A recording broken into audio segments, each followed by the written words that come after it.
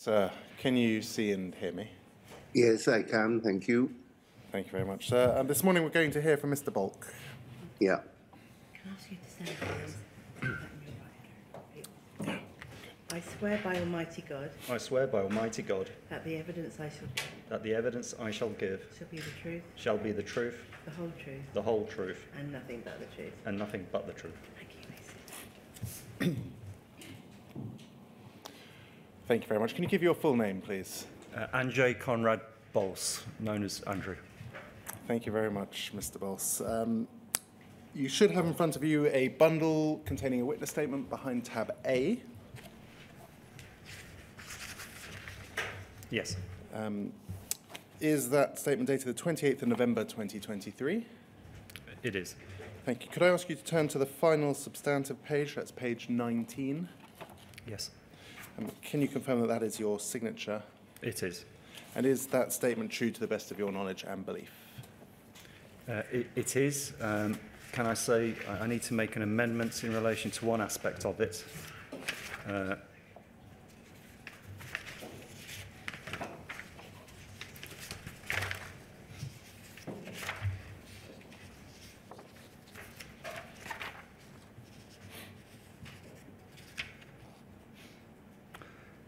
relates to paragraph 29.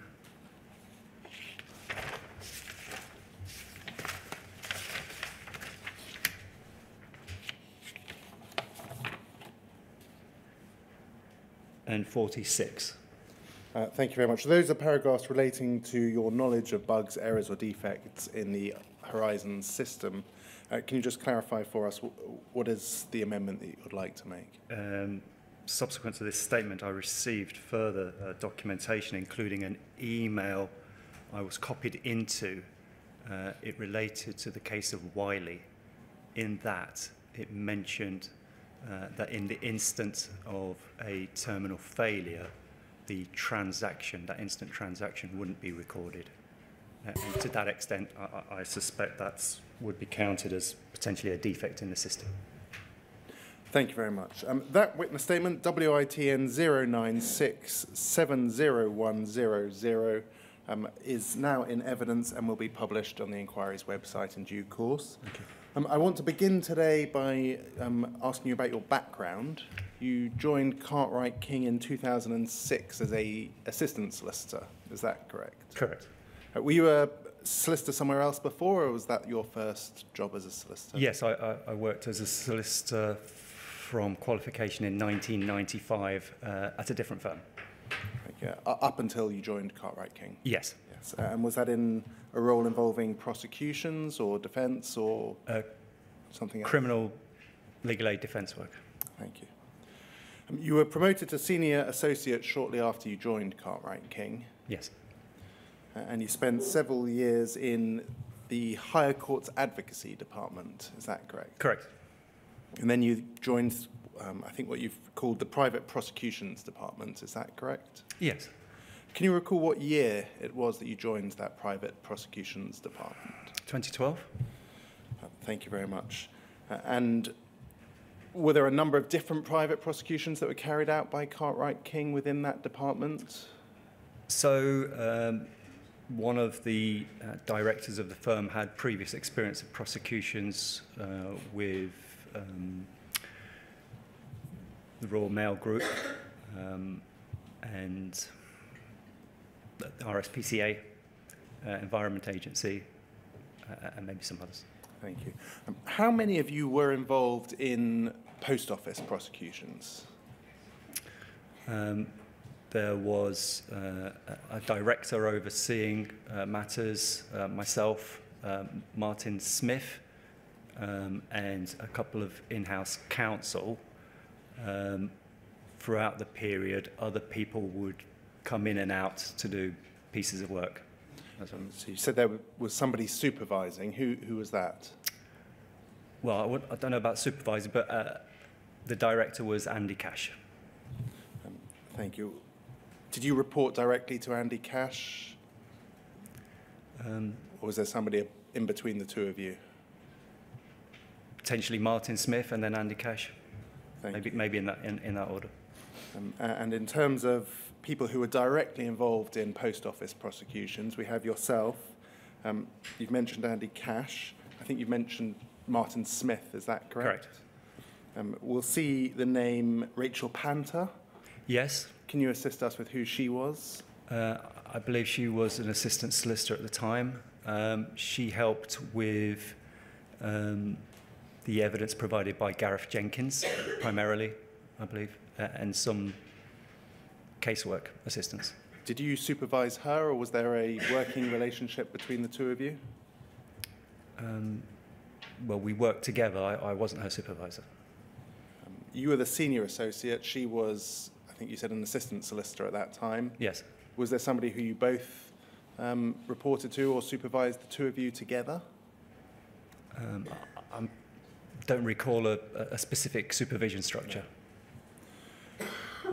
So that's three, four names. W- were there more people involved in post office prosecutions? Um, on an ad hoc basis, there were some others I, I don't recall. Uh, there was some in-house counsel, um, So Mr. Clark, Mr. Bowyer, s- some other in-house counsel on, on occasion, I believe. So one of those is Harry Bowyer, is that correct? Correct. Uh, What was your relationship with Mr. Bowyer? In, sorry, in what respect? It, did you work next to each other in the same room? So I uh, worked uh, out of uh, the Leicester office uh, by myself primarily, um, and Mr. Smith worked in Derby. Um, I believe uh, the others were based in Derby, certainly from July 2013. I, I can't be certain where they were based before that. And was there a reason why you were based in a separate office at all? Uh, I, I had always worked in Leicester. Were there others working on the post office prosecutions in Leicester with you? Um, no, uh, I believe my trainee at that time at some point uh, got involved uh, and assisted with attending court on a, uh, uh, one or two cases potentially. Were there regular meetings between those who prosecuted on the post office's behalf? There were meetings. Um, I, I can't say that they were regular. Um, most of the communication would have been potentially via email or over the phone. Uh, was there somebody who took responsibility for training you all or informing you all? Um, not that I'm aware of now. You've described in your witness statement as acting as an agent for the post office. Yes. Um, what did you understand acting as an agent to mean? I, I- I think I said in my statement that th- the role was quite unspecified uh, and, it, and it wasn't clear exactly uh, where our duties started and ended in terms of the overall um, prosecutions. Was there somebody who informed you about um, the role that you were to play?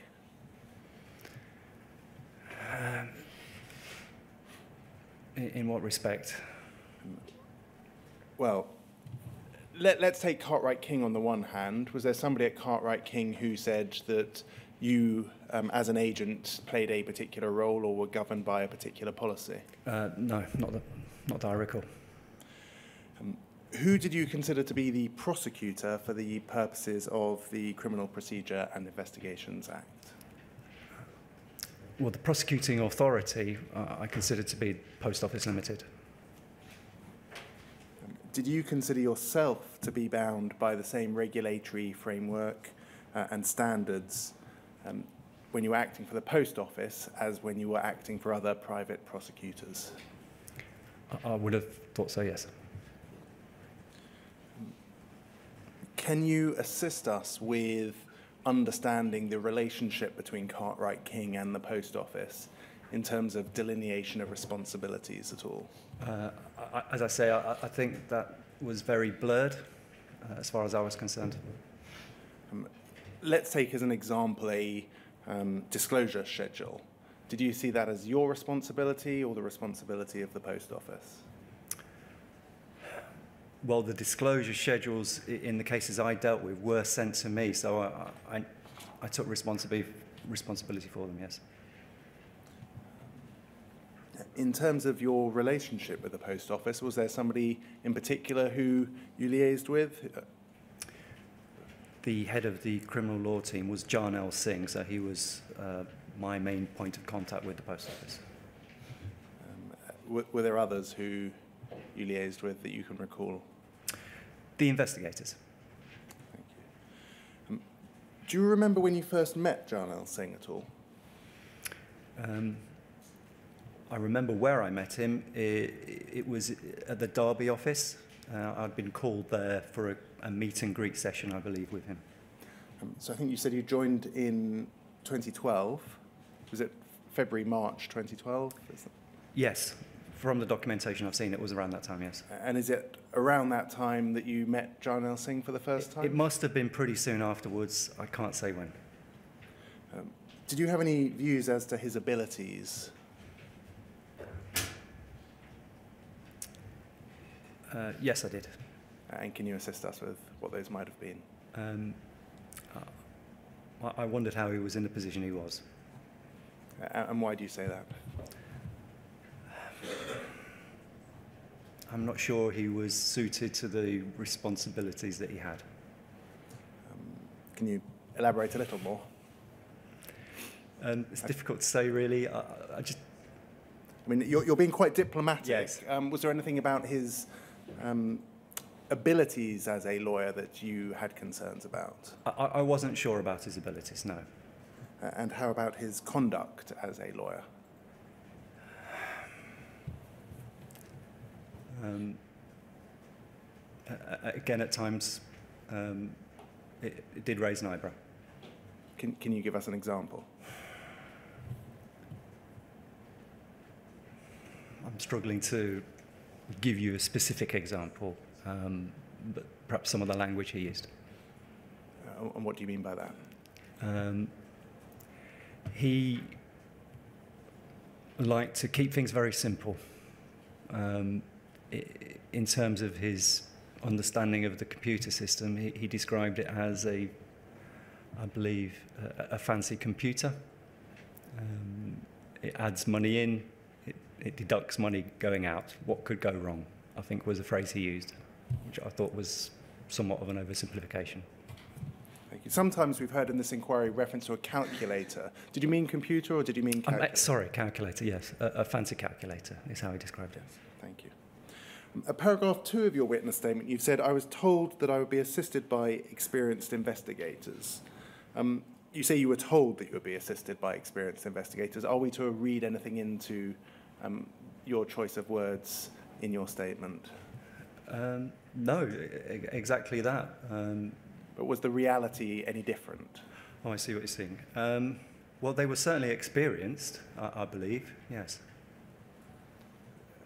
I, think you're suggesting perhaps that experience doesn't equate to competence. Is that what I'm to read into? I'm not sure I would go that far, but um, perhaps they were set in a certain way of doing things, yes. And which way was that? Um, well, in terms of their investigation of the cases, perhaps wasn't as thorough as could have been. Uh, Was that something that you were concerned about at the time, or is that a, a later realization? Uh, I, think it became a, a, a later realization, yes. You also have said in your witness statement that the post office regularly instructed counsel that were familiar with the prosecutions. Yes. Um, did that also turn out to be incorrect, or was that a, a fair summary of the position? In the cases I dealt with, um, the counsel instructed was John Gibson, and I, I I understood that he'd dealt with a number of these cases before. and do you have any views as to his conduct of the cases that he dealt with for you? Um, not, not, not particularly that I recall. Um, I, I never met him in person. Um, so. And I want to ask you in general terms about the prosecutions that you had conduct of. Um, you say that the first green jacket files were passed to you in March 2012. Can you assist us with what a green jacket file is? Uh, I believe it was the uh, investigator's um, investigation file. Uh, essentially, it contained uh, what I believe to be the documents uh, that had been amassed during their, the course of their investigation, including a, an, an investigator's report and um, a, a letter from the business unit. Would you receive that directly from the investigator, from the business unit, or from a lawyer? It just arrived on my desk. I don't know. In, in hard copy? In hard copy, indeed, yes. I think you've said your first case was in March 2012, is that correct? Or, I believe so, yes. Um, we're going to come to case studies uh, this, probably later this morning. Um, Sefton and Neild, and also the case of Allen. Yes. Um, were they your first, or was there an earlier case that you were involved in? They were the first, uh, very first handful of cases I gave advice on. Uh, there was a case of Bramwell, which uh, seemed to be coming to its, conclusion, uh, and that was included with the pile of cases that I was given. Do you think Bramwell was probably the first prosecution that you were involved in in that case? Yes. Um, let's start by looking at a Bramwell um, chain of emails. Can we look at FUJ 001 56530? And if we could start looking at page three, please.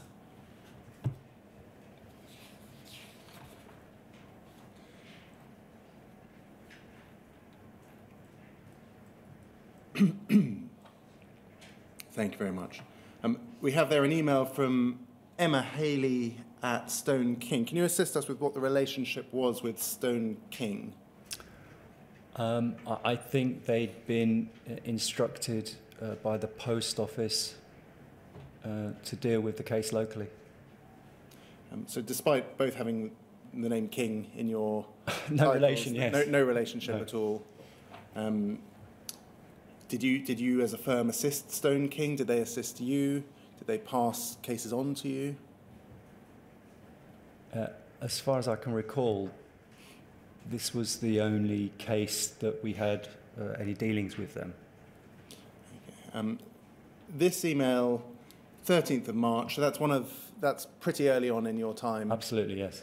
Um, and she says it's about the case of Bramwell, and she says counsel would bluntly like Fujitsu to pour as much cold water as possible on the defence report. If the expert is saying we cannot disagree with anything at all, then we are potentially in some difficulty. I've asked counsel to provide a specific list of questions, but really the essence is how much, if anything, can we rebut, uh, and can we explain the accounting system to a jury in the way they will find easy to understand? Um, so it looks as though, from a very early stage, you're being made aware that there are issues being raised in a prosecution regarding the Fujitsu Horizon system. Yes, you could say that, yes. Um, there's then reference to barrister training in Cardiff. This is an email we've seen before in this inquiry.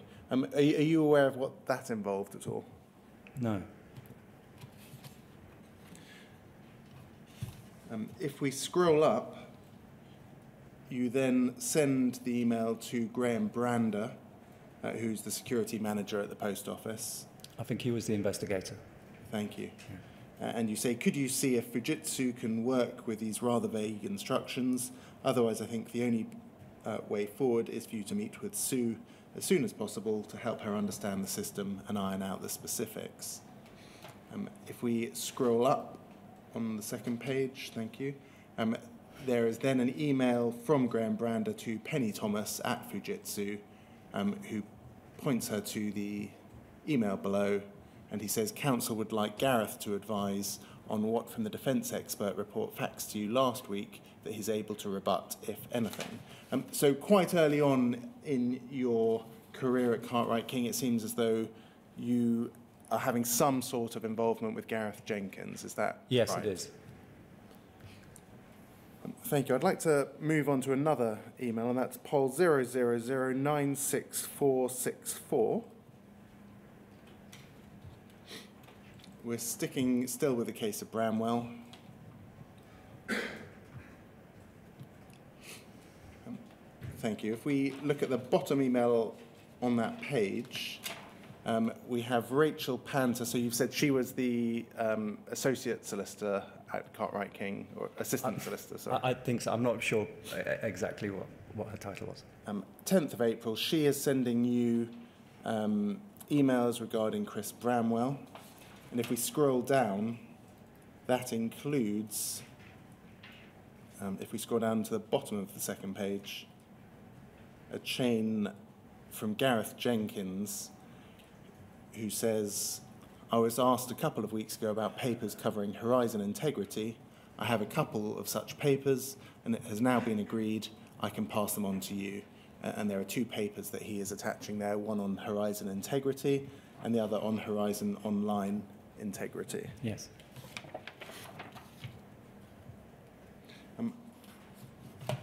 One further document I'd like to look at, and that is POL 000-58016.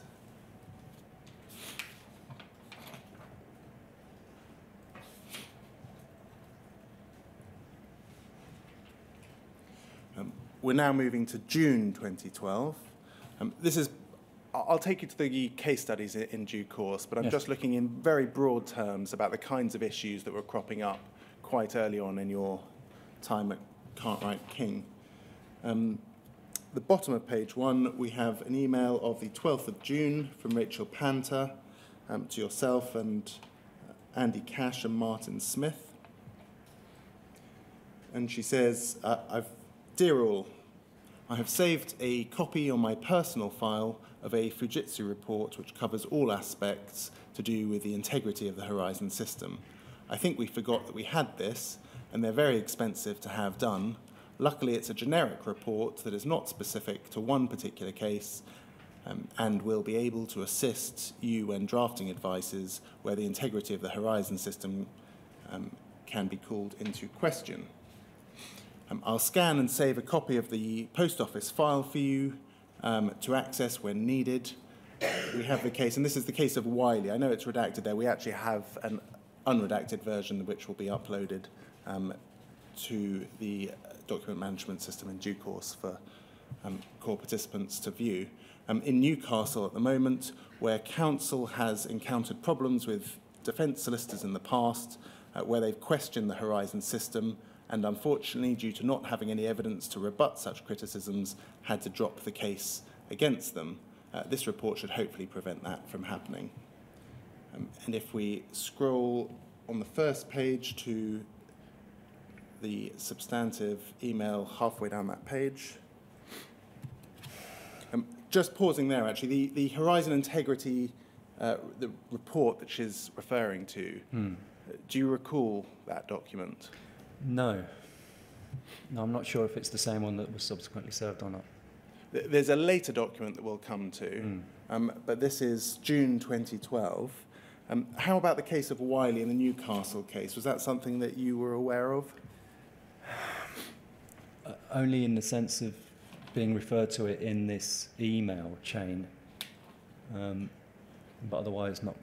Um, issues about the cost of obtaining a report from Fujitsu, is that something that you were familiar with? Certainly became aware of that. Yes. You became aware of that. Yes. Um, we'll see in due course various emails on that. Uh, approximately when do you think you became aware of the cost issues? Well, it could have been triggered by this email, I suppose. Thank you.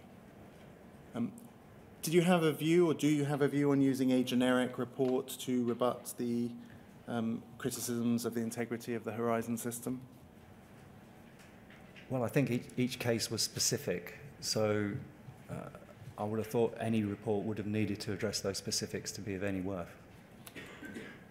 If we look at that top email, we have uh, from Andy Cash to all, all dot prosecution. So was that a generic email address for everybody involved in post office prosecutions, or was that the post office, the, the prosecutions team in general at Cartwright King?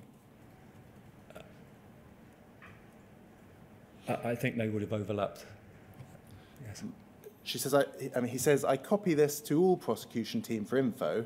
Uh, Rachel, Martin, and Andy B have most of the work in hand now, and we're building some good relationships with officers. Uh, Rachel, excellent, well done on securing this resource. And then he talks about a chat with Jarnail Singh. Um, it, seems as though Rachel, Martin, and yourself are identified as those with um, most of the work in, in that area. Is Yes. that a, a fair Yes. description? It is.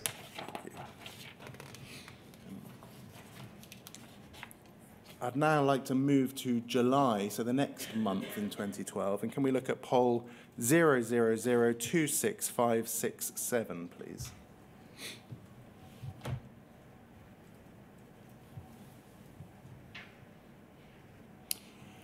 Um, This is an advice written by Harry Bowyer, who I think you've said was a, a, an advocate. uh he was a barrister employed by Cartwright King, In-house barrister, yes. an in-house barrister. Thank you. Um, do you remember this advice at all? No. Um, I'd like to take you through the advice and just see what you recall of the contents of the advice in terms of broad picture, having Yes. been at Cartwright King at the relevant time. Can, can I just say I've just seen this this morning? Yes. But, yeah. Um,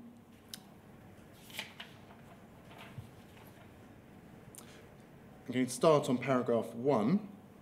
Um, th- this is talking about the Wiley case, so that's the Newcastle case that we've just been looking at in emails. And he says as follows He says, In interviews, she attempted to blame the shortfall on the Horizon accounting system.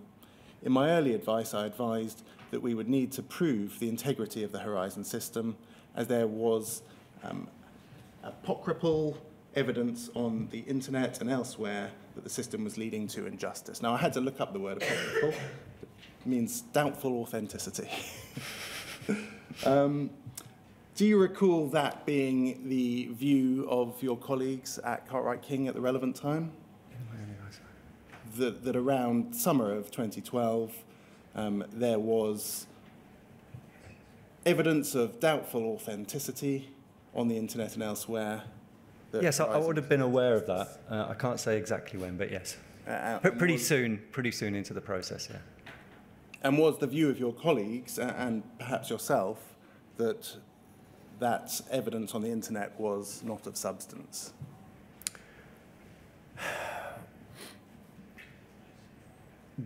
I'm not sure if I had a view on that. Um, I tried to deal with the evidence that was presented to me rather than rely on what the internet said. But if you believed what was on the internet, no doubt that would have been a very serious matter, wouldn't it? Uh, uh, of concern, absolutely, yes. So were you not concerned about it as at the summer of 2012? Yes, Yes, you were concerned or weren't yeah, yes, You, you were concerned about problems with Horizon in the summer of 2012. yes. yes. Um, paragraph two, please. The position of Post Office Limited has, up until now, always been robust. When the system has been challenged in the criminal courts, the system has always been successfully defended. I understand that the Post Office has announced that it has appointed independent forensic accountant Second Sight Limited to conduct an independent review of 10 cases based on the Horizon system.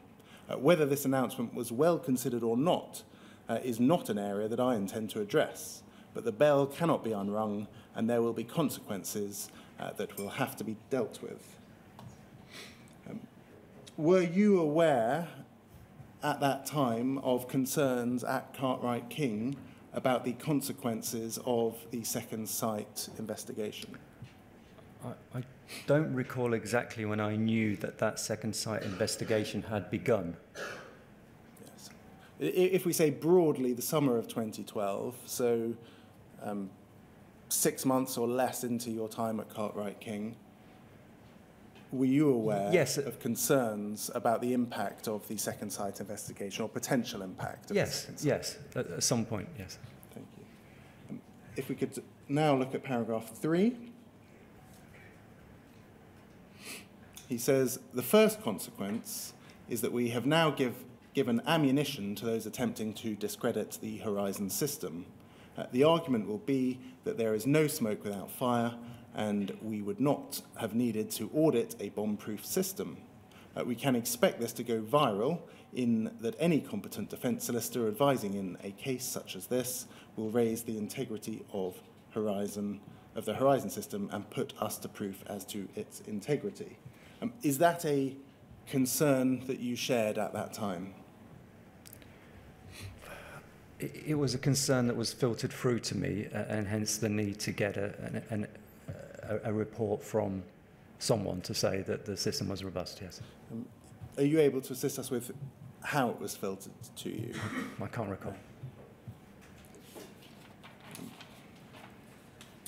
If we look at paragraph four, please. Paragraph four says the extra evidence which we will be obliged to gather uh, will be as nothing in comparison to the potential disclosure problems that we may face. Until the Second Sight investigation is concluded, we will be in a, a limbo. Um, was that a concern that you had at that time? Did you, did you consider that there may be implications as to whether or not to actually proceed at all with prosecutions whilst the Second Sight investigation was ongoing?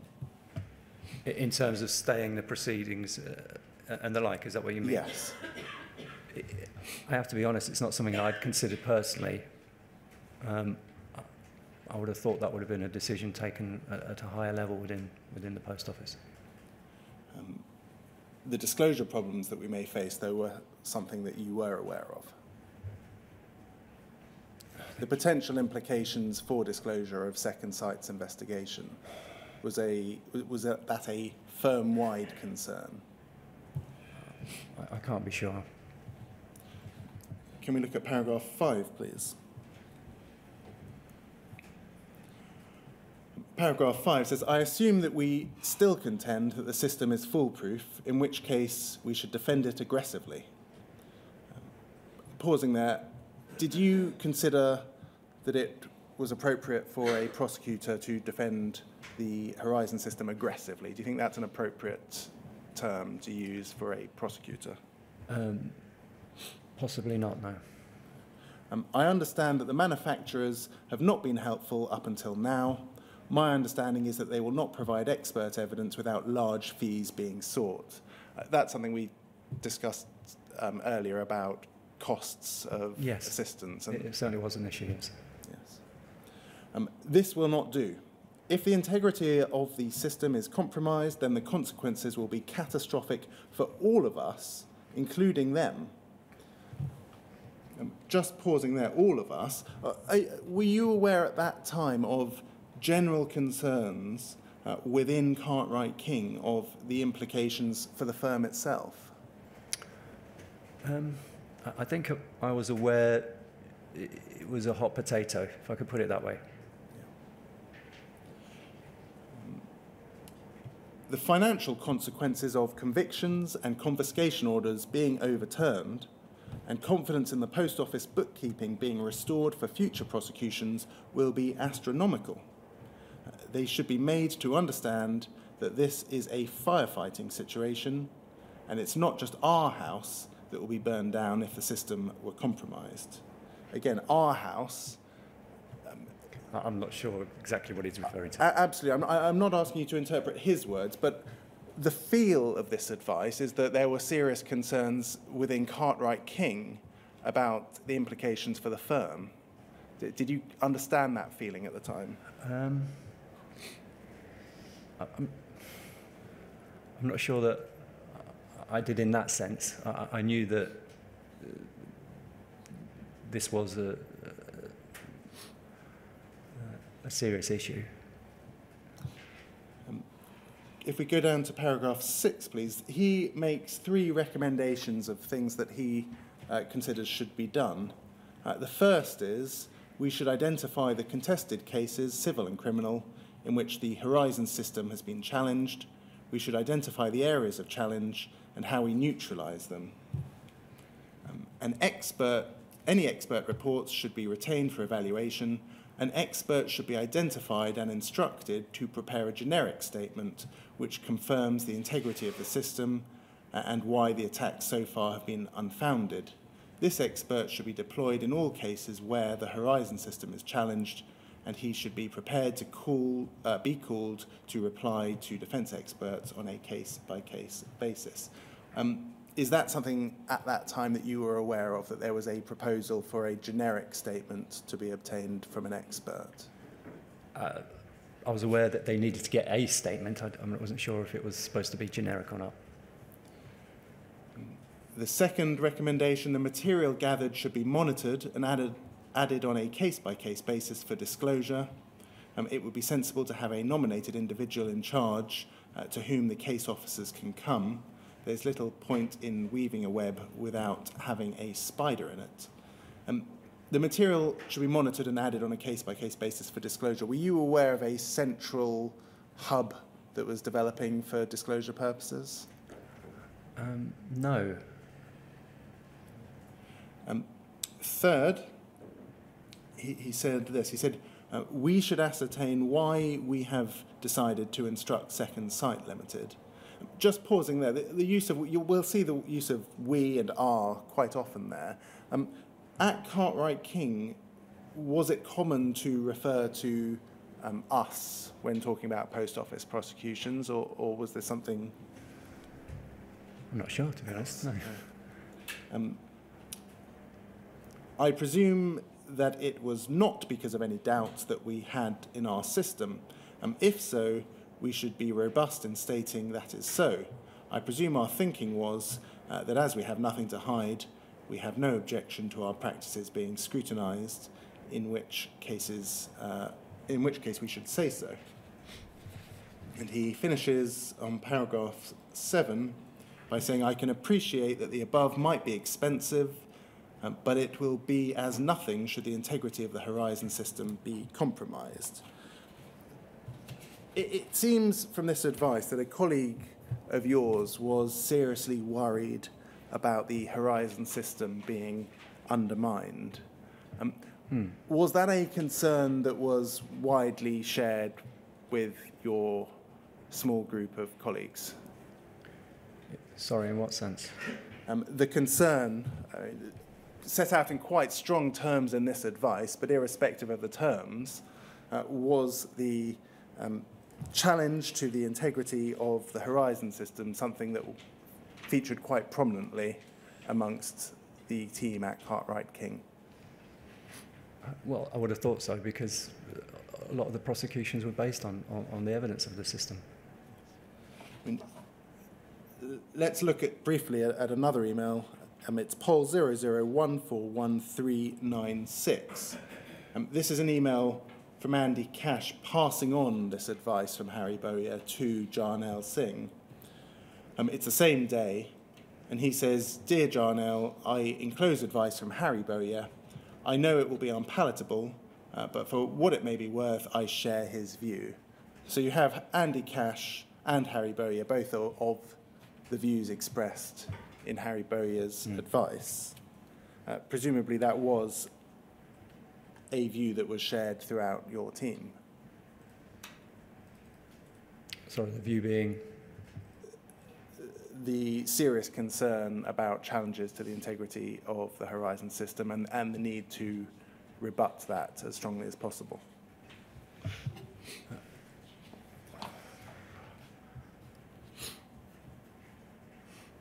Well, the system was crucial to, to the prosecution, so yes, in, in that sense.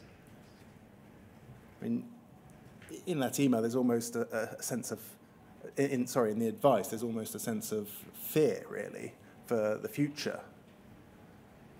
Was that something that was shared throughout your team? I'm not, sure the word fear would be appropriate. Uh, Well, but concern. maybe. Concern. Yes. Um, concern for the post office, concern for Cartwright King, or concern for something else? I don't know. C- concern that um, the, the system worked Concern that the system didn't work. or didn't work. Yes. Yes. Can we look at UKGI 00001432?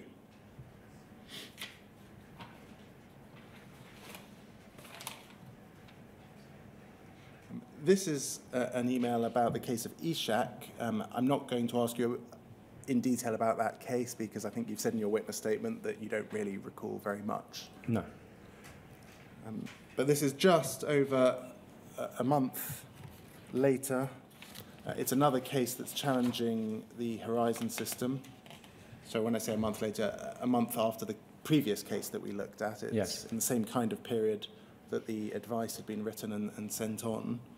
Um, we have there an email from Martin Smith to Rachel Panter, copy to Andy Cash. Um, and in relation to this case, he says, the defendant solicitor made it clear that the functionality of the Horizon system would be an issue. Uh, the defendant has instructed them uh, that the correct amount of money uh, will be there in the account somewhere and that this is an error with Horizon. Everyone has heard about the problems with Horizon. This is going to be another one of those cases uh, where we will have to anticipate and deal with the Horizon issue and consider our approach. Um, talking to Andy Cash, he says, Andy, I think we should draw up a separate list of cases in which we anticipate Horizon arguments uh, so that we can ensure that we have appropriate answers slash material and agreed tactics for the plea and case management hearings, uh, the dates of which will undoubtedly arrive well before the post office are likely to have obtained any reports.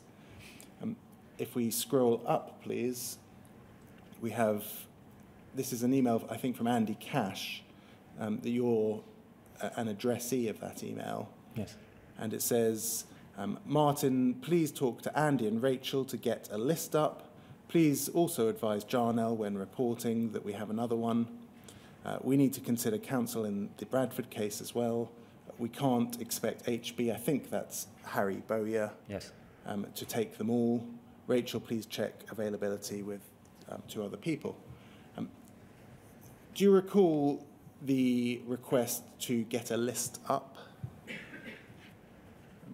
Do, do you recall at, at this period a coordination of the various cases and various Horizon challenges? A, a list was gathered shortly after this, I believe, yes. Uh, were you involved in gathering the list? Um, no, contributing to it, I suppose, by identifying those particular cases to to Martin or Rachel. And did you see the list once it had been compiled? Uh, yes, I've been copied into emails. So I think that there's a list of cases, relevant cases. Yes. Thank you. Um, my final document on your general knowledge uh, in the 2012-2013 period, I'm going to take you to just a, some minutes from a regular call re-Horizon issues. That's POL 000-83936. This is just an example. We have many different um, notes from what's called a regular call re-Horizon issues. Do you remember uh, when those calls started happening? Um, they were back on the advice prepared by Simon Clarke to generate some kind of meeting for information to go sideways through the business rather than up and down, I guess. And you're there listed as the representative from Cartwright King. Is there a reason why you were chosen to take that role? So I sat in on a handful of these hearings uh, when Martin Smith wasn't available. Um, So Hearings. Martin Smith was the main attendee at these meetings, was he? Yes. If we l- look at page three, please, can you give us a, an approximation of how many of these calls you- you think you attended? A handful. A handful being five or thereabouts? Or, Yes. Yeah. If you look at page three, just by way of example, we have uh, Rigo's branch there, the third entry. It says debt of £24,000, sub postmaster blaming Horizon, uh, live sub postmaster, and therefore internal processes need to be exhausted. Uh, push through normal processes to see if a Horizon issue identified. Uh, maybe some challenges around the sub-postmaster refusing to follow standard process, i.e. want solicitor to attend meetings, etc. Uh, this is to be managed in the usual way. Uh, was this typical of the kinds of things that were discussed in those meetings? So issues where uh, sub-postmasters had blamed the Horizon system for losses? My understanding of these conference calls was that it was supposed to raise across the business all the horizon issues so that people were aware. Do you recall this particular issue at all? No. Thank you, that can come down. Um, so, just by way of an overview, consolidating all of those documents that we've just been looking at, um, you started working on post offices cases in February or March 2012. Yes. Um, by March, there was liaison with Fujitsu about the Bramwell case. Yes. April, May, there were references to reports on horizon integrity that we saw. Yes. Um, we've seen in June 2012 the Horizon Integrity Report that's circulated by Rachel Panter um, and a body of Horizon cases that are being dealt with by your team. Yes. Um, in July, we have the advice from Mr. Bowyer, uh, and we then have, by 2013, those regular calls that you occasionally attended. Yes. Um, was concern about the Horizon system in effect a constant from the beginning of your time at Cartwright King to the end of your time? The end of my time in that department. Yes. Yes. Thank you. Um, I'd like to move on to a different topic, uh, and that Mr. is. Blake, before you do that, um, uh, and I may have, may have missed it, so I apologize if I um, am asking for information about something that's already been given. But do we know, and when I use the word we, I mean the inquiry, so ha- have any documents, for example, been received which show who commissioned Mr. Bowyer's um, advice in July 2012? It's in the context of the Wiley case. I appreciate that. Yes. But do we actually know why why he was asked to write it? I, I think my answer to you will be uh, we'll, we'll come back to you on that one. Fine. That, no, that's fine. It was just I was interesting to see, uh, interesting to know, if possible, why an in-house counsel had been asked to write in the terms that he ended up writing in, so to speak. Uh, Mr. Bolsley, are you able to assist us at all? I, I, I'm afraid I can't. No. Yeah. Okay. Fine.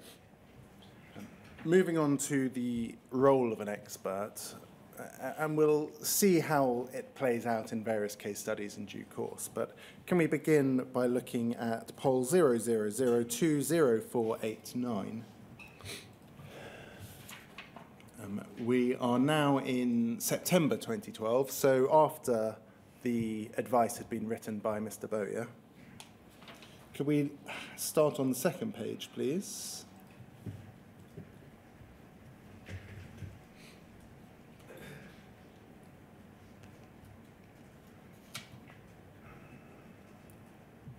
Thank you. Um, there's an email from Jarnail Singh to Andy Cash and yourself, and it says, Andy slash Andrew, please see Helen Rose Disclosure's final draft report on her analysis of Horizon cases. I look forward to receiving your comments before forwarding the data for an expert report. Um, we know and we've seen advice from Helen Rose, or a report that was written by Helen Rose a year later, June 2013. It- It's a separate piece of work. Yes. Do you, do you recall this piece of work at all? I, I think I've seen it when reviewing the documents that were sent to me, yes. Or, or reference to it. Um, do, do you recall your involvement or receiving it at the time? Um, not specifically, no. Could we turn to the first page, please, and we'll start at the bottom. Um, Andy Cash to Jarnail Singh. Uh, Jarnail Harry, I think that's Harry Bowyer, advises that the report, provided it is comprehensive, is what is needed, uh, and we now need the expert's report on it as soon as practicable um, in view of the current case's timetables. And if we scroll up, we have a response from Jarnail Singh, you're copied in. Um, he says, Andy, thinking about the choice of expert in this case, I have in the past instructed Gareth Jenkins of Fujitsu in the case of Misra, uh, which, incidental, was the only challenge on Horizon. He provided expertise in dealing with defence's boundless inquiry into the whole Horizon system. Uh, perhaps we need to reconsider whether to instruct him, as he may be viewed too close to the system, uh, but instruct somebody entirely independent, question mark. Your thoughts, please, and also whether you or Harry have anybody in mind. And if we scroll up, we have the a response from Harry Bowyer. And he says, um, I would have preferred somebody entirely independent, but this is such special, a, a specialist area that we would be hard pushed to get a report in the timescale that we require. We might open our expert up to allegations of partiality, but his expertise will be unlikely to be challenged. Were you aware of the discussion about the identity of the post office's expert witness? The identity of the expert, sorry. Yes. So these, these discussions about whether to use Gareth Jenkins, was that something, um, you, you're certainly on this chain, um, you're not in the final email, but No. were you aware of discussions about, for example, Gareth Jenkins's uh, independence? Uh, I can't recall, but yes, I, I, it's clearly an issue because he worked for Fujitsu. Yes, come down, thanks. Um, did you understand him to be an expert witness in the sense that he was subject to, for example, common law duties uh, and requirements of the criminal procedure rules? I certainly understood him to be an expert in his field. I didn't know if he'd been trained as an expert witness or had any training in that regard. I think you've said in your witness statement, it's paragraph 8 of your witness statement, you say, I understood that Jarnail Singh was ultimately responsible for instructing Gareth Jenkins. Um, what do you mean by that? In, in terms of giving instructions to him to do a piece of work, I prepare the report. In terms of identification of his various obligations to the court and duties, whose responsibility did you see as that falling on? Mr. Singh's. I- In general terms, did you see the post office or Cartwright King as being responsible for the instruction of experts, ir- irrespective of whether it's Mr. Jenkins or, or somebody else? Uh, again, I come back to my previous comments about these lines being very blurred. Yes.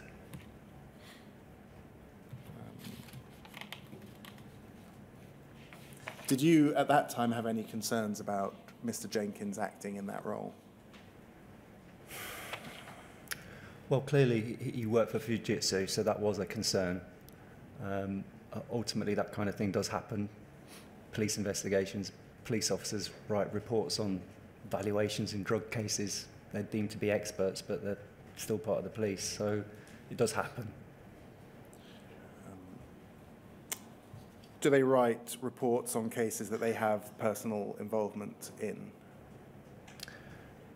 Well, they, they will, yes, look at the, the drugs and, and assess them regarding quality, weight, and, and the rest of it. So, Was that something that you had previous involvement in, um, the instruction of an expert, prior to joining the post office team?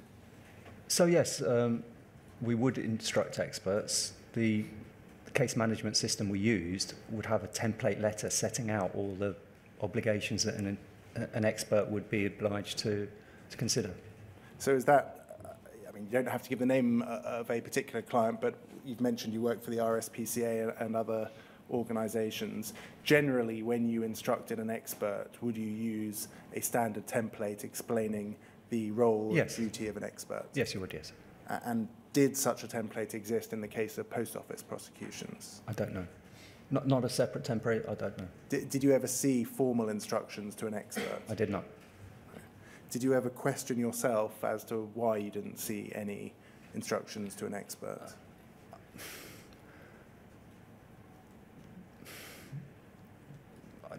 I didn't consider them to be that, that part of it to be my responsibility, except when we actually got the report uh, from Mr. Jenkins, it, it didn't include those relevant paragraphs it should have done. And did you query that with anybody at the time? I did not know. Did anyone discuss that with you at the time? No. Uh, Can we look at POL 0014116, please? Um, this is an email from Harry Bowyer to Jarnail Singh. You're not copied in, so I don't expect um, you necessarily to have read that at the time. Um, but I'd like to know whether you were aware either of its contents or in broad terms. Sure. Here he sets out what is expected from the expert. He says, hopefully Helen will confirm that the Horizon system has never been successfully challenged. Uh, I've yet to see any sign of any experts briefed on behalf of the defence. Uh, when she has completed her exercise, she should prepare a summary of these, those cases uh, where there's a proper uh, attack on the system rather than a gripe in the system that the system is at fault. Uh, although she should record those cases so that we can say they have been kept under review. They will become more numerous as the bandwagon picks up speed. Uh, just pausing there, bandwagon, w- w- was that a phrase that you were familiar with? Uh, I seem to recall it was a phrase used repeatedly, yes. Uh, repeatedly by who? Um, can't be specific, certainly Mr. Singh, I, I can't say who else. Then says the expert will need to address the report uh, to the following issues. Number one, a description of the Horizon system. Uh, two, a declaration that it has yet to be attacked successfully. Three, a summary of the basic attacks made on the system, concentrating on any expert reports served in past cases. If there are none, then state that no expert has yet been found by any defence team or civil or criminal to attack the system. At the moment, there seems to be little more than griping by defendants that the system must be at fault without saying how. Uh, plainly, like all accounting systems, there is room for human error, uh, keying in wrong amounts, etc. But the expert should be able to state that innocent human error is unlikely to produce the types of discrepancies of many thousands of pounds over many months. He then says a decent report along those lines will go a long way to putting this issue to bed. Were you aware that that was going to be forming the basis of a statement? No.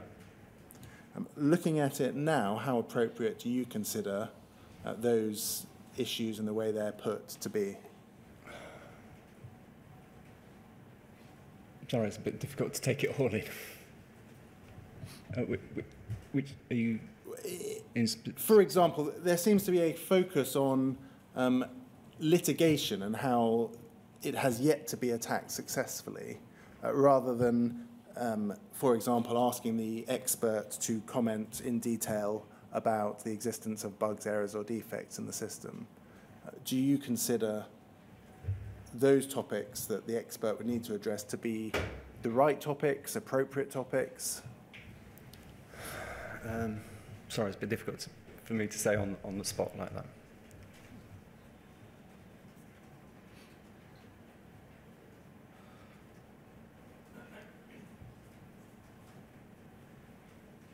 I would have thought um, concentrating on, on, on the system itself would have been more appropriate.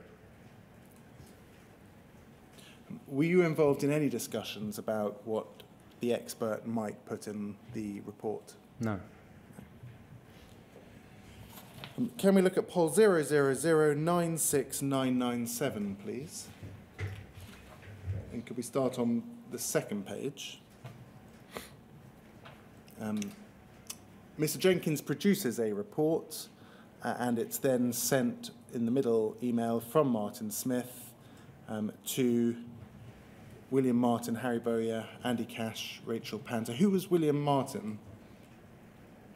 I don't know. I, he didn't work for Cartwright King, as far as I know. Let's let's scroll up, and that will hopefully assist us. Um, so you're not on that email distribution list, but if we look at that email at the top of this page from Harry Bowyer to Martin Smith, copied to Andy Cash, um, he says as follows: Martin, um, at first sight, these this these look like a good base upon which our reports can be based. As most are fishing expeditions, they will do in their current form. Um, scrolling, or sorry, down that email, he says, um, if there is a specific challenge in, ca- um, in case then the statement and the report can be tweaked to cover the eventuality. My view is that most challenges to the Horizon system should now vanish away before the trial. Uh, were you aware of the production of a statement that could be tweaked to cover various different eventualities? Um, ultimately, yes, because the, the statement he produced, um, he was then provided with the case summaries and defence statements and asked to address those issues. Um, So were you aware that it was a generic statement that would then be tweaked as appropriate to the particular case? That, that's how it panned out, yes.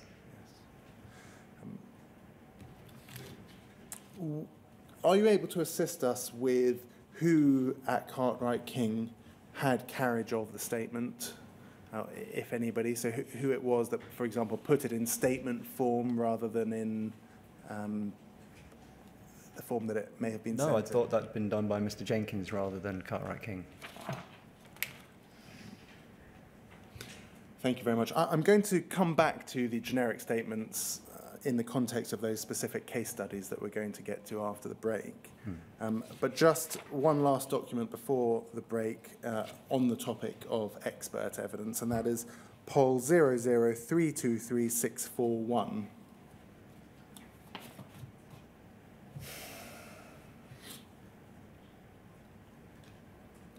Um, We're moving back to the Bramwell case. We're now in um, May 2012 in the Bramwell case. Uh, and it is uh, an email from yourself to Steve Bradshaw. Steve Bradshaw was, I think, the investigator in that case. I- Is that right? I believe so, yes. Um, it's that substantive paragraph that I would like to ask you about, the bottom one, and it says, with regard to your statement, which is in effect being treated as an expert's report about the Horizon system, the judge has directed that you are to liaise with Mr. Jenner, the author of the defence report, in the usual way between experts to identify the issues of disagreement between you. Uh, this could be done by telephone, etc. Uh, the purpose would be to identify prior to trial what can be agreed and what is disputed about the Horizon system, narrowing down the issues and making evidence uh, quick and relevant. Um, it, it seems there as though the suggestion is that his witness statement is being treated in effect as an expert report. Um, would it be possible for the person who is in fact investigating um, an offence to write a report uh, and for it to have the status of an expert report? No, so uh, I think when he actually served his statement, he, he made it clear that he wasn't an expert, but a lay witness talking about the system. Um, in this email, I'm obviously referring to the fact that he's being asked to, to discuss what he says with the, the defence expert in, in a way that would have been done by an independent expert witness. Um, we- we've spoken already about a blurring occurring in terms of who had responsibility for instructing the expert and the instructions that were provided to the expert. Um, was a particular witness's status also something that there was some degree of blurring? Yes, I'd agree with that. Um, and why do you think that was?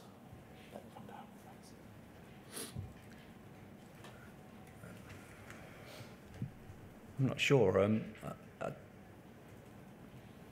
the system was obviously quite a unique one, so the only people who really understood it were the people who were involved in it on, on a daily basis, either because they were developing it or were using it or investigating it. Do you recall communications with experts being, for example, recorded in uh, the disclosure schedule? No. Um, and I think you say you, you you hadn't, in fact, seen any formal instructions to a expert at all. No. Um, do you recall any conversations that you had with Mr. Jenkins um, or others within your team about the duties of an expert? No. Thank you. So that might be an appropriate moment to take a mid-morning break um, before we move on to the case studies. Yes, certainly. what, time, sh- what time shall we resume? I- If we come back at 20 past 11, please. Yeah, fine. Thank you very much.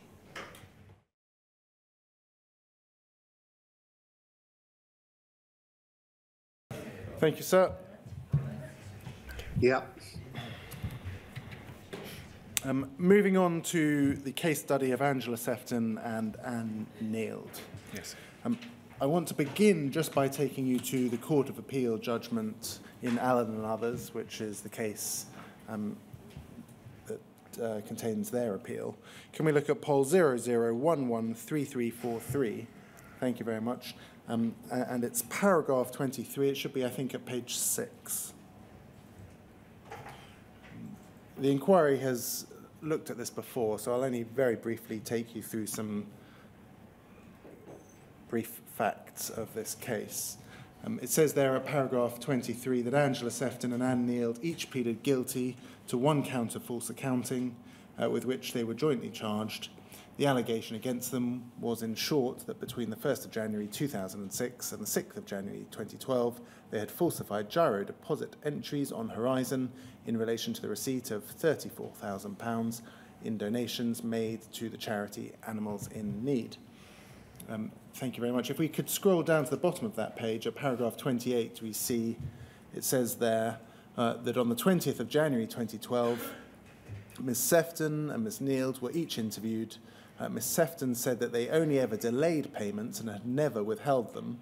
Animals in Need had been significantly affected because the charity had continued to use giro deposit slips, which needed a date stamp, rather than, as in nearly all other cases, moving to a swipe card or barcode system. Uh, she and Ms. Neild uh, did not report the losses because they were too terrified. It appears that Ms. Neild gave a broadly similar or at least consistent account. She said she did not know where the shortages were coming from. Um, scrolling down, it says at 29, both Ms. Sefton and Ms. Neild submitted defence statements which questioned whether the losses were genuine or Horizon generated. Next paragraph, paragraph 30. Um, Ms. Neild repeated the disclosure request uh, with the result that the Post Office agreed that a defence expert should be allowed to attend the branch to analyse the data. The Post Office served a witness statement by Gareth Jenkins in which he maintained that there was no problem with Horizon. Um, its call logs show that some difficulties with Horizon had been sporadically reported uh, to the Post Office between 2005 and 2011. Other records show numerous difficulties with Horizon in 2009. It says at paragraph 32 the Post Office accepts that this was an unexplained shortfall case uh, and that evidence from Horizon was essential to the prosecution of both Ms. Sefton and Ms. Neild. The Post Office failed to carry out a proper investigation into Horizon issues and failed to disclose full call logs and other records indicating that there had been problems with Horizon at the branch. In addition, Mr. Jenkins had informed the Post Office's solicitors that he had no information regarding complaints or investigations into Horizon, and it has already been established that it's not possible to examine the original Horizon system that was operational until 2010. Um, similarly, I have not been presented with any audit data relating to any of these cases to examine. Uh, these defects in Mr. Jenkins's evidence were not disclosed, uh, nor were two earlier relevant reports disclosed, uh, and the Court of Appeal concludes in the paragraph below. In those circumstances, the Post Office concludes that the prosecution of Ms. Sefton and Ms. Neild was unfair and an affront to justice, uh, and they conclude that the convictions were unsafe. Now, if I could take you to your witness statement. That's WITN 09670100. Um, paragraph 11, that's page 6. Um, you introduce the cases of Sefton and Neild on page 6, paragraph 11. Uh, And you say that you received a green jacket file between the 3rd of February and the 1st of March of 2012. And at the bottom of that page, you say, uh, the file contained no separate instructions to me, either identifying my specific role or anything else. I believed I was acting as an agent for Post Office in the prosecution. I was not supplied by way of introduction with any policy documents in relation to the conduct of prosecutions by the Post Office, uh, disclosure, or anything else. I was not supplied with any information in relation to the Horizon system, the details of any data it generated, issues relating to its reliability, any relevant cases or details regarding any civil actions or otherwise.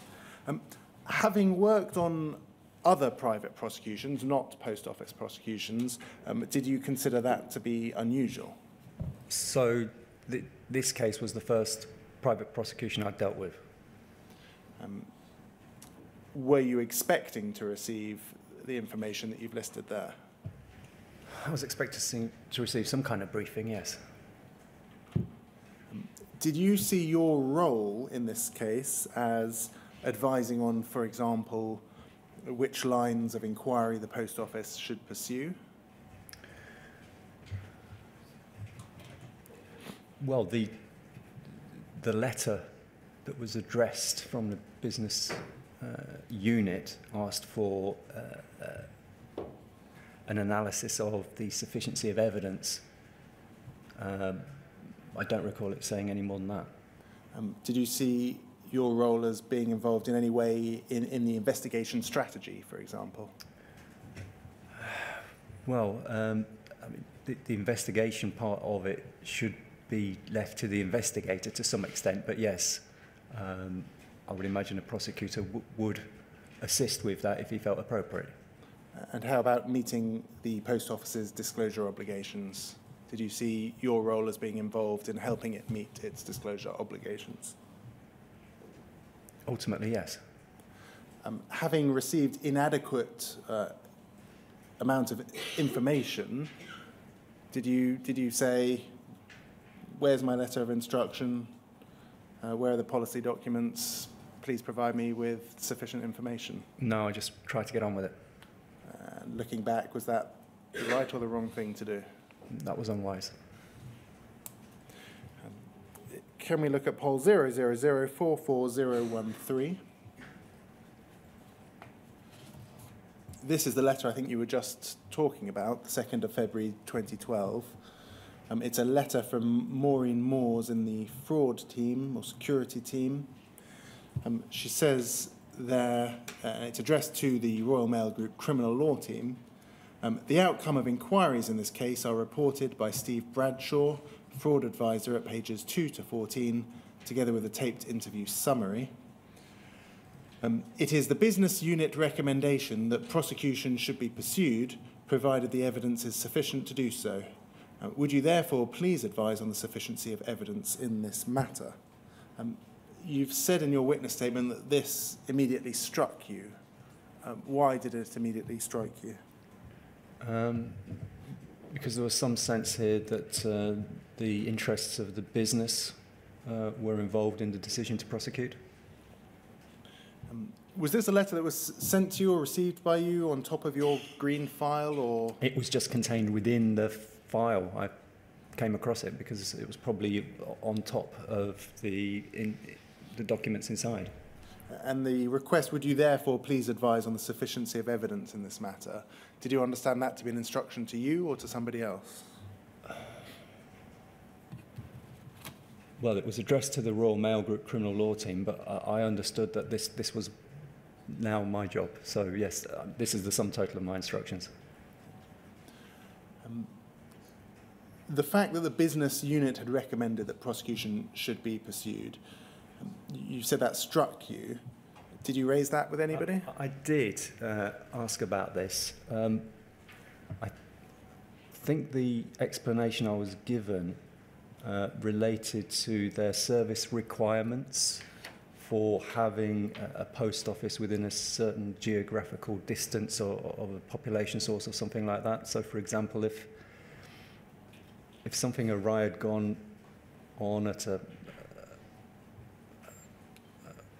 an isolated Scottish island where there was only one sub postmaster available and hard to replace, uh, then might be the post office might be less inclined to prosecute them as opposed to uh, an inner city environment where a replacement would be easily obtainable. Who, who told you that? I, I can't recall.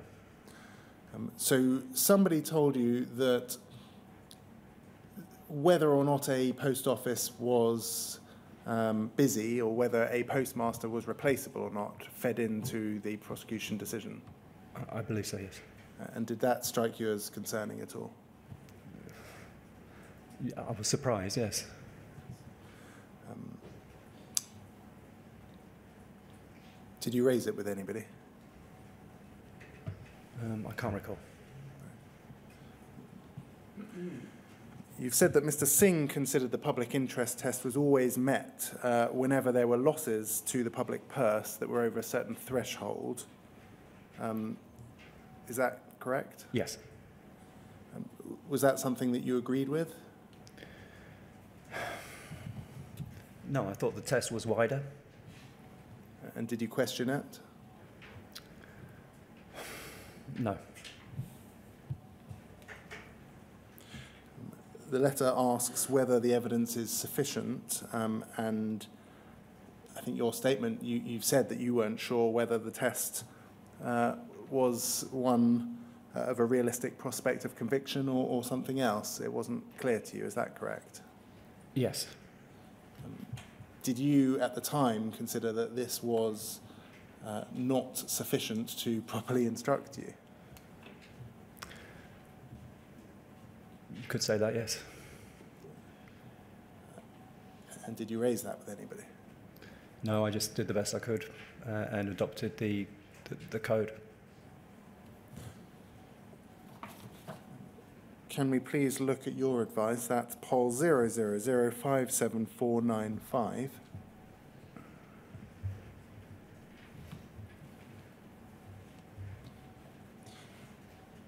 This is dated the 1st of March 2012. The First paragraph, you say, in my opinion, the evidence is sufficient to afford a realistic prospect of conviction in respect of the draft charges attached. In light of their admissions and interview, the prospects of success are good. Uh, you then say, in view of the nature of the charges, the amount involved, which has not been repaid, and the breaches of trust aspect, this is not a case suitable for a caution. Um, prior to taking up your post um, involved with prosecuting post office cases, um, had you ever been involved in giving people cautions or the, the provision of cautions? No. Um, as I said, this was the first case I was involved in where I'd been asked to provide charging evidence or advice, sorry. Had you ever received training in the principles underlying the issuing of a caution? Well, I was aware of them from a defence uh, perspective, yes. But Had anybody in. Cartwright King talked to you about the matters that you would take into account in order to issue a caution? No. What did you understand to be the power of the, pro- the post office to issue a caution? I'm not sure that I considered that. If we look at the various advices that you gave in post office cases, will we ever see you having recommended a caution? I don't believe so, no. The fourth paragraph says as follows uh, Whilst there remains a suspicion that both Sefton and Neild were involved in theft of the losses concerned, uh, given their prolonged attempt to cover these up, they could blame each other, making individual responsibility difficult, if not impossible, to ascertain. And at present, there's insufficient evidence surrounding the handling of cash at the branch to rule out the possibility of a third party being responsible. On the other hand, uh, they have made clear admissions to false accounting, admitting intent to cause loss, even if only for a temporary period. The prospect of them ever making good the losses, of course, dwindled um, as the losses increased. If a third party might be responsible, um, how did you have sufficient information to consider that they had been dishonest?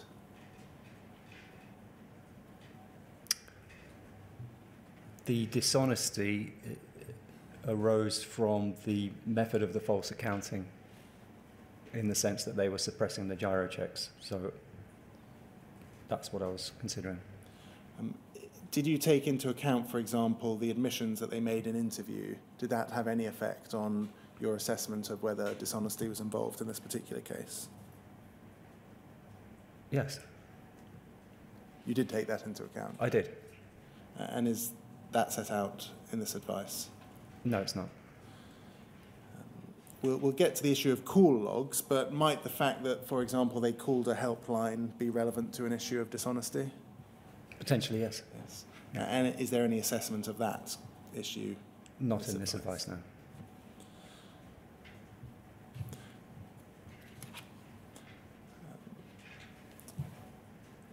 Do you think that this advice in itself is, is a sufficient advice, or do you think it's too brief? It's far too brief. As I said, it was the first one that uh, I dealt with, I believe, um, and I tried to improve them subsequently. Were you copying a format from colleagues? Was this something you've been I told think to I do? copied uh, a format from either the Bramwell case or, or another one that I'd seen with the initial files that had been sent to me. Uh, Were you provided with any training from anybody at Cartwright King as to uh, what to do on receipt of instructions from the post office? No, Was it effectively a baptism of fire on joining that team? yes, Did you voice any concerns about that at the time? no. Um, o- On reflection, do you th- wh- why do you think that was? I think I, they just assumed I should get on with it. Were you overloaded with work? Were you insufficiently supervised? Were you, uh, was there some other reason why the level of work is not up to the standard that you would expect? Just lack of experience. Can we please look at POL 000574996? Uh, these are the proposed charges. Was that something that you drafted? Uh, I believe so. Can we please turn now to POL 001663331, please? And it's an email from yourself to Steve Bradshaw, the investigator, on the 3rd of July 2012.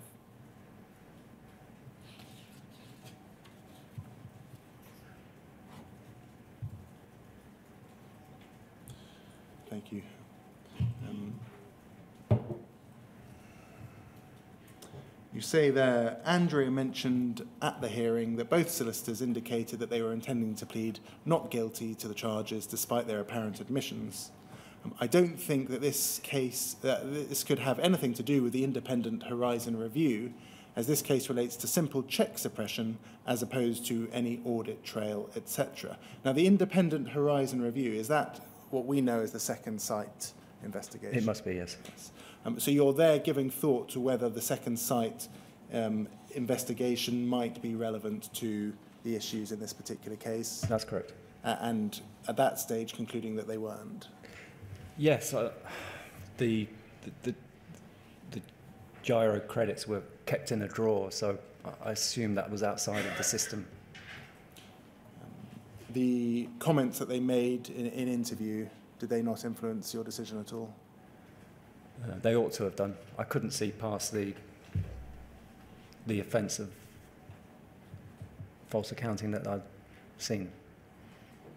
But you say that they ought to have done. In, with hindsight, yes. Um, you say there, however, in light of this indication, it may be prudent to fill any potential gaps in our case at this time, and to that end, a statement from Animals in Need would be useful, um, etc. I now want to move on to the defence statement. That is POL 000583300, uh, and it's page 5.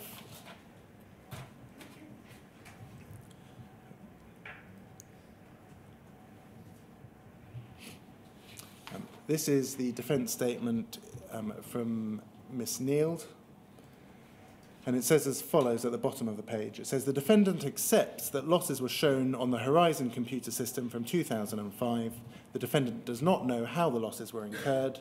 The defendant now believes that such losses may have been may have shown as a result of the failures of the Horizon computer system. Um, if we scroll down to C, about halfway down that paragraph, it says um, this was not done with a dishonest intent um, or with any intention to make gain or cause the complainant any loss. Rather, it was a desperate attempt to make good the apparent losses on the system. At no stage were animals in need ever deprived of the money, etc. Um, we have a response from you Um, there, there are certain disclosure requests at the bottom, so that's page seven. I think it's over the page. Three disclosure requests, uh, any material that points towards other suspects, uh, B, details of any bad character of any prosecution witness, and then C, uh, details of complaints and investigations into the Horizon computer system. So uh, within their defense, her defense statement, uh, she has requested details of complaints and investigations into the Horizon system. Uh, we then have your response over the page, please. 28th of August, uh, and this is a response to her solicitors.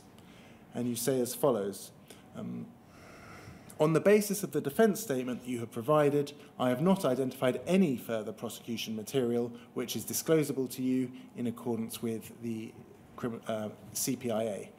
Specifically, in relation to the points raised in your statement, number one, there were no known other suspects in the case uh, and no material relating to the same. Uh, two, which was details of bad character, um, you say none known. And then three, which was the request for details of complaints and investigations into the Horizon computer system, uh, you say as follows uh, Your client is charged with false accounting by failing to make entries onto the Horizon system regarding the deposit slips found, and thus the offence has occurred outside of the system. Material relating to the Horizon system is therefore not deemed disclosable at this time. Do you accept now that what was going on in the system was relevant to the issue of dishonesty? Yes. Um, the phrase outside of the system, was that a phrase that you had heard used by others, or was that your own phrase? Uh, I'm not sure. Possibly my own. Uh, I can't. Uh, do you recall this decision, the decision not to disclose information um, relating to the Horizon system? Was that your decision, or was that somebody else's decision? I, I, I'm not sure. Uh, and why is it that you're not sure? I can't remember if I discussed that with anyone beforehand or not. Um, as the solicitor with carriage of the case corresponding with the solicitors for the defendant in criminal prosecutions, uh, do you see yourself as responsible for the decision? Yes. Yes. Um, when you say you're not sure who made the decision, uh, was that again a blurring of the lines or, or something else? Potentially, yes.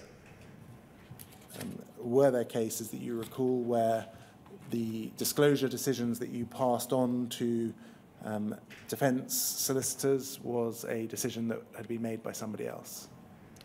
Yes, absolutely. Um, in respect of material relating to the Horizon system, did you ever question the responses that had been provided? Well, they, they were provided by our client essentially, so um, no. I mean, we've seen the Harry Bowyer advice, for example. We're, we're here in um, the, I think it was August 2012. Um, do you think at that time you should have thought more about the disclosability of material relating to the Horizon system? Yes. Um, can we go to POL 0004436?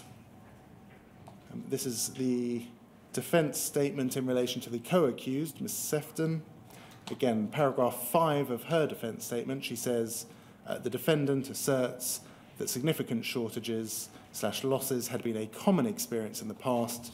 Uh, losses started to occur from 2005. The defendant had to make good a great deal of those losses out of her own pocket. Um, but as the losses increased, the defendant could not afford to pay uh, to repay them from her own resources. If we go over the page, please. Um, paragraph 11, it says the defendant also praised in aid in her defence the fact that the post office computer system known as Horizon, installed sometime in 2005, has been the subject of criticism in the press. A firm of solicitors in the Midlands, Shoosmiths, is acting on behalf of over 100 sub postmasters who in the past have wrongly been accused of fraud and false accounting and have been compelled by the Post Office to repay us significant sums of money or face criminal prosecution, presumably. At the heart of their complaints is the fact that the Horizon computer system is to blame uh, for these apparent losses due to some form of technical malfunction. Uh, and her request at the bottom, uh, she requests details, at number three, details of any complaints made to the post office regarding the operation of the Horizon computer system from 2005 onwards, and details of the steps taken to deal with those complaints. And over the page, there's also a request in relation to correspondence with members of Parliament, or from members of Parliament. Um, can we please bring up onto screen POL 001663335, please?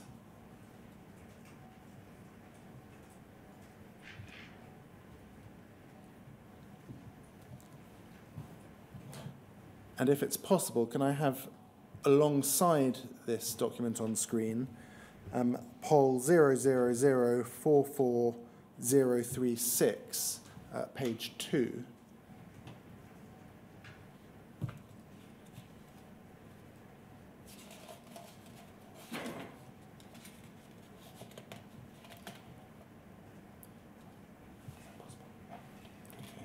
So this is the defence statement that we just looked at, and we have those three requests at the bottom there. Uh, and you are contacting Steve Bradshaw, the investigator, and you say, Dear Steve, please find enclosed defence case statement served on behalf of Angela Sefton. Uh, please, can you see if there is any material to disclose on points one and two raised on page two? So we see there one is all notes, statements, and other materials concerning any other suspect uh, and two, all such notes, statements, and other materials relating to any other witness, etc. Um, and then you say in your doc, in your email on the left-hand side, John Gibson has been advised um, of the development so far as the Second Sight review is concerned. Now, it, it doesn't look there as though you've tasked Mr. Bradshaw with looking into uh, the request three, that is details of any complaints made regarding the operation of the Horizon system. Mm. Uh, can you assist us with why um, he wasn't tasked with, with that? Is it because there was a separate disclosure officer tasked with those specific areas? That, that's what we'd like to know. I mean, yes. John Gibson, who was he? That was the prosecuting counsel in the case. Um, so he has been advised of the development so far as Second Sight is concerned. Is that you providing Mr. Gibson with advice? I'm not sure. I can't remember who. Um, and when you refer to a second uh, person looking into issues, uh, are you talking about Helen Rose there? Yes, I believe so, yes. Uh, and did you see Helen Rose as uh, responsible for compliance with uh, the disclosure requirements under the criminal? I seem to remember seeing an email from Jarnail Singh appointing her as a disclosure officer to do with the previous Horizon complaints? I'd like now to look at a specific application for disclosure that was made in this case. Um, can we look back at POL 000583300? Uh, Ms. Neild makes an application for specific disclosure.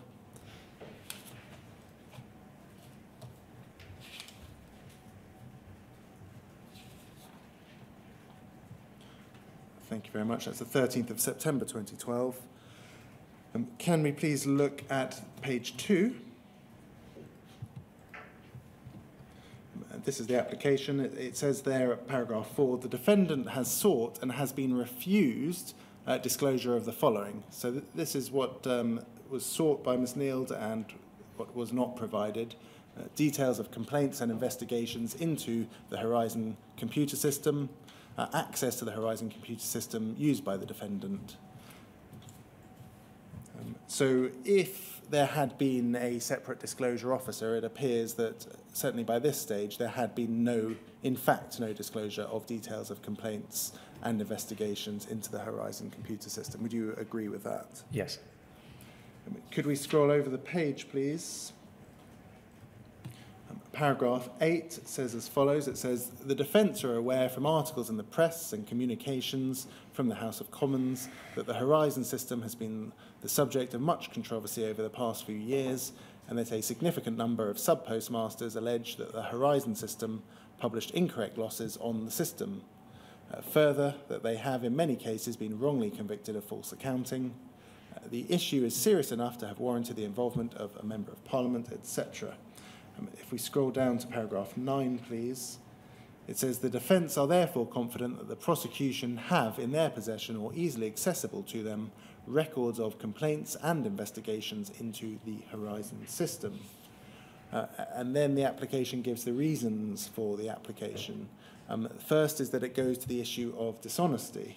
Uh, paragraph 12, it says, when the jury consider whether the attribution of monies in this way by the defendant was dishonest, it is a relevant consideration whether or not the losses were real and whether they were attributable to her. If the losses were the result of a computer error, then the jury may well take a very different view of the defendant's mental state uh, than they would if she had taken the money. Uh, and it also, they says, goes to the issue of intent to gain or cause loss. Uh, the second relevant issue is the question of the defendant's intention, whether she intended to make a gain for herself or cause a loss to another. Uh, and then further down, they make submissions. Paragraph 15 says, It is submitted uh, that material which suggests that the Horizon system has accounting faults is therefore relevant to and of potential assistance to the defence for the reasons outlined at paragraphs 12 to 14 above.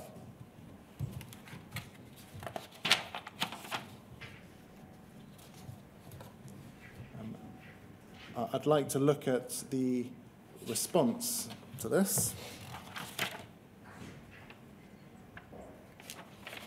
Can we please look at POL 000583303?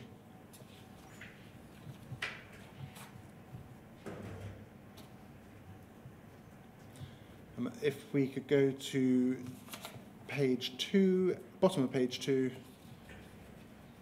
Uh, thank you. So we have an email there from yourself, the 14th of September, to Andy Cash. And you say, following discussion with Harry, so that it seems is Harry Bowyer, is that right? Yes, correct. Um, 14th of September 2012, so we're now two months after Mr. Bowyer's advice um, that we saw this morning. Um, please see draft email to outside counsel in this case. And then if we look below, we have the draft email. Um, Dear Sir, please place the attached Section 8 application together with the brief already held by Counsel John Gibson. Um, so that's the disclosure application that we've just seen, is that correct? Yes. Um, counsel is invited to contact instructing solicitors to discuss the prosecution response and should be aware of the following. Uh, number one, Post Office Limited have appointed one of their investigators, Helen Rose, as disclosure officer dealing with Horizon challenges. That's exactly as you said a moment ago. Um, she has prepared a document slash spreadsheet detailing all such cases, past and present, approximately 20 in total, uh, although none thus far successfully argued in court. It is felt uh, by in-house counsel um, that this currently uh, a working document and currently undisclosable as it contains some personal opinion. Um, now, pausing there, in-house counsel, is that Harry Bowyer or is that somebody else? It, must be him. Um, so it's not to be disclosed because it contains, it's a working document and contains some personal opinion. Um, do you think that that's a fair assessment? Of what it says, yes. Um, do you think that the fact that something is a working document or contained opinion uh, is relevant to whether it should be disclosed or not? I can't, I can't remember the content of, of what her report said. Um, how about the detail, some of the detail that was contained, that there were 20 cases, uh, and perhaps some of the detail of those 20 cases? I mean, did you, for example, for yourself, look at the document that had been um, compiled and assess for yourself whether the information contained within it was disclosable? I, I can't, I can't recall if I did or not. Do you think you did or didn't? I'm, I can't recall. Um, would you agree that that document that is referred to, or, or drafts of it, would be disclosable, irrespective of whether it contains personal opinion or not? Um,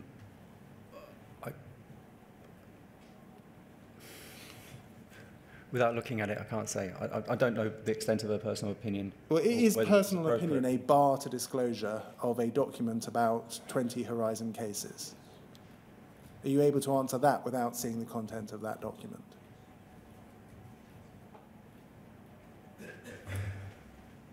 Repeat the question, sorry. Are, are you able to say whether a document about the Horizon system, about 20 cases, um, should not be disclosed because it contains some personal opinion? How is the fact that it contains personal opinion relevant or not to whether it should be disclosed? Um, surely that must depend on what the personal opinion was. Can you give me an example of where personal opinion might make something not disclosable? Uh, where the personal opinion wasn't, wasn't appropriate or supported by evidence, for example. So if something isn't appropriate or isn't supported by evidence, it shouldn't be disclosed. depending on, on, what that is, yes. I, I, Uh, where do you get that from? Is that from a, a, a rule, a procedure, Criminal Procedure and Investigations Act, or where, where do I see something that might make that as a rule for disclosure? um, with, without seeing the document, I can't say. Um, number two, in addition to the Second Sight review, the Post Office have been advised to obtain and are in the process of doing so an expert's report from Fujitsu UK, the Horizon system developers, confirming the system is robust. Um, is that what we will come to see the uh, statement of Gareth Jenkins? Yes. Um, do you think it is appropriate to um, tell prosecuting counsel that you are obtaining a statement that, uh, from Fujitsu that confirms the system is robust? Um, with hindsight, I can see what you're saying. Um, it should be the other way around. It should be looking at whether the system uh, works properly.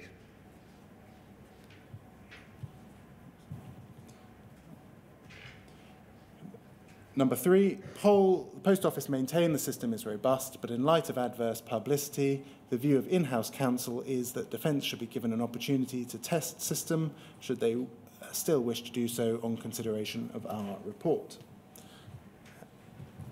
If we scroll up on the page before, we can see that you've sent the email to Jarnail Singh at the Post Office. Uh, and you say, please see below draft email I'm proposing to send out to counsel. Um, Andy Cash has asked me to seek specific instruction from the post office on two issues. Uh, one, would we allow a defence expert direct access to the Horizon system? And two, is a six-week timetable realistic for Fujitsu to prepare the report proposed? Um, can you uh, assist us with um, what level of involvement Jarnail Singh had in, in this matter and why it is that you are contacting him? Um, because he, in my mind, was responsible for commissioning the report from Fujitsu in the first place. Uh, and he would be able to clarify um, the Post Office's stance on this access to the system by a defence expert. Can we scroll up to the first page, the bottom of the first page, please? We have a response from Jarnail Singh. He says, um, one, as you may be aware, in the past, defence expert has attended the relevant sub-post office and has been able uh, to analysis the relevant data, etc. However, this request is very vague and general. Are you able to clarify specifics? Um, two, Gareth Jenkins has previously provided a report in the past. He's presently on holiday for two weeks. Are you able to wait for his return? Um, and the email before that, please. Um, you say, You're right. I'll explain that defence experts have attended sub post offices in the past to analyse data, but access to the system beyond that would need to be clearly specified and approved by the post office before being allowed. Um, are, are you able to assist us with what you meant by clearly specified? What level of detail um, they would have to? I think it was just in response to him saying that the request was vague and needed clarifying. Would the post office ever, in your experience, provide assistance uh, to a defendant in criminal proceedings as to what it is that they may need to show or may need to be looking at in the Horizon system? Uh, I, wasn't aware uh, of instances where defence experts had been to the post office before, so I'm going to now look at your letter to um, Ms Neild's solicitors. Can we look at POL 000583006, please? We're now on the 18th of September. Uh, and this is the information that you are providing to them pursuant to their application for disclosure. Uh, you say as follows. Over the years, some post offices under investigation for losses have claimed that the Horizon system is at fault. A number of these cases have made their way through the courts, but to date none have been successful. Uh, notwithstanding this, a review of the number of cases is due to take place, and details of this are attached. And we'll come to see that attachment. Um, B. In addition to this review, it's understood that a further report from Fujitsu UK, the Horizon System developers, confirming the integrity of the system, uh, is being prepared. At present, the working assumption is that it will take six weeks to prepare, but the time scale may change. Uh, defence experts have in the past attended the relevant post offices to be able to analyse the relevant data. Access to the system beyond that would need to be specified and approved by the post office before being allowed. Um, and, and over the page, we have the level of detail that is provided in respect of um, the challenges through the courts. It's, it's, sorry, it's over the page again. Thank you. This is the detail that's provided, and I'm just going to read that. It says, um, after a number of meetings between Post Office management and members of Parliament in relation to the court cases, it was agreed that the Post Office would undertake an external review of the cases uh, which had been raised by members' constituents. As the Post Office continues to have absolute confidence in the robustness and integrity of its Horizon system and its branch accounting processes, it has no hesitation in agreeing to an external review of these few individual cases. Um, so is this, this is the, referring to the Second Sight review, isn't it? yes. Um, so it, refer, it says there are a few individual cases. Were you aware of the Second Sight review involving a few individual cases? Um, I thought there was more. Yes. Yes. Um, in order to provide assurance to the interested parties, it was proposed that the review be undertaken by independent auditors Second Sight. Uh, the review will specifically be specifically restricted to the cases raised by the MPs, as well as reviewing the accounting uh, procedures, processes and reconciliations undertaken in relation to the cases in question, um, etc. And, and then the final paragraph, it says, all the above is accepted based on the terms of the review being carried out, uh, but this is in no way acknowledged, acknowledgement by the Post Office that there is an issue with Horizon. Over the past 10 years, many millions of branch reconciliations have been carried out with transactions and balances accurately recorded by more than 25,000 different sub-postmasters and the Horizon system continues to work properly in post offices across the length and breadth of the UK. When the system has been challenged in criminal courts, it has been successfully defended. Um, are, are you aware of who drafted this document? Um, so from the email chains I think I've seen, this was considered uh, the considered response of the post office, um, and was drafted in conjunction with Jarnail. Singh and uh, others uh, above him in the hierarchy. Four days earlier, we have the email that we've seen, discussion about a spreadsheet with 20 cases challenging Horizon. Um, am I right in saying this is all they're getting in response to their disclosure request? That's correct, yes. Um, what is your view as to the adequacy of that response? It's not adequate. How is it that an inadequate response was sent to um, these defendants? It, it was the, the response that the post office had scripted uh, and had asked to be sent to them. Do you take any personal responsibility insofar as that disclosure is concerned? Well, I should have challenged it, but it was the client's response, so we forwarded it on. Did you yourself look at those 20 cases that were on that list to see if there was any overlapping uh, information that might be disclosable? I can't recall. You can't recall? I can't recall that now. Uh, Would you recall having taken that kind of a step in these proceedings? Beg your pardon, what kind of step? If you had seen a list of 20 cases involving challenges to Horizon, would that be something that was memorable or was that something that is forgettable? Um, I don't know. Can we look at POL 000971138, please? Can we please start at the second page? And it's an email from Rachel Panter to Gareth Jenkins. Um, were you working closely with Rachel Panter in relation to the case? I mean, two of your cases at least are mentioned. Yes, Three, three cases, in fact, that we know that you had involvement in Ishaq, Sefton and Neil and Allen. I- I- Ishaq would have been Martin Smith's case, but yes, I was aware of it. Um, were you closely involved with the work that Rachel Panther was doing in relation to those cases in which you had conduct? Well, she insisted in, in obtaining the report in that respect, yes. Did you say she, she insisted in? Uh, uh, uh assisted. Assisted. assisted.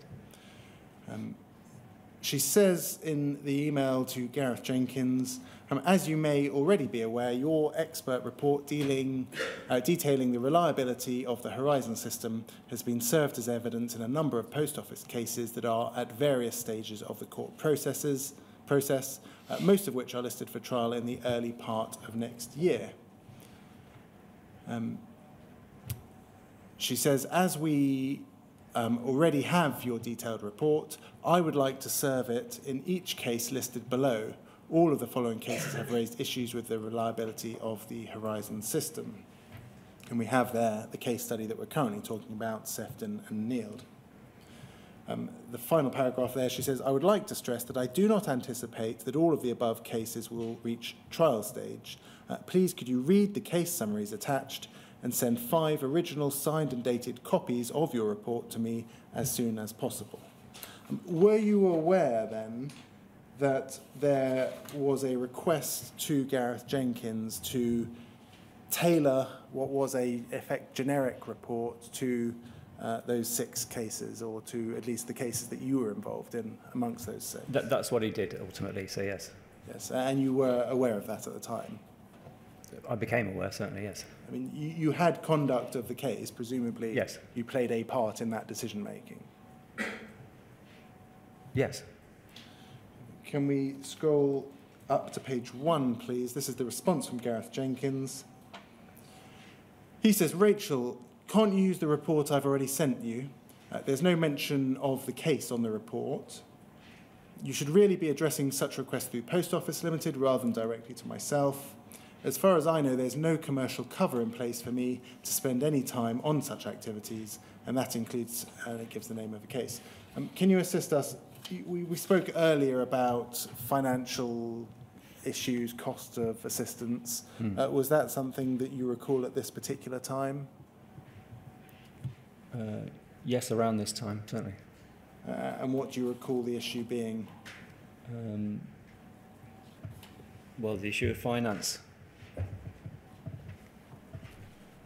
Was it, for example, seen as um, a better use of finance to tailor a generic report than to commission individual reports on each occasion? I see. Um, I, I'm not sure if, if that was the purpose.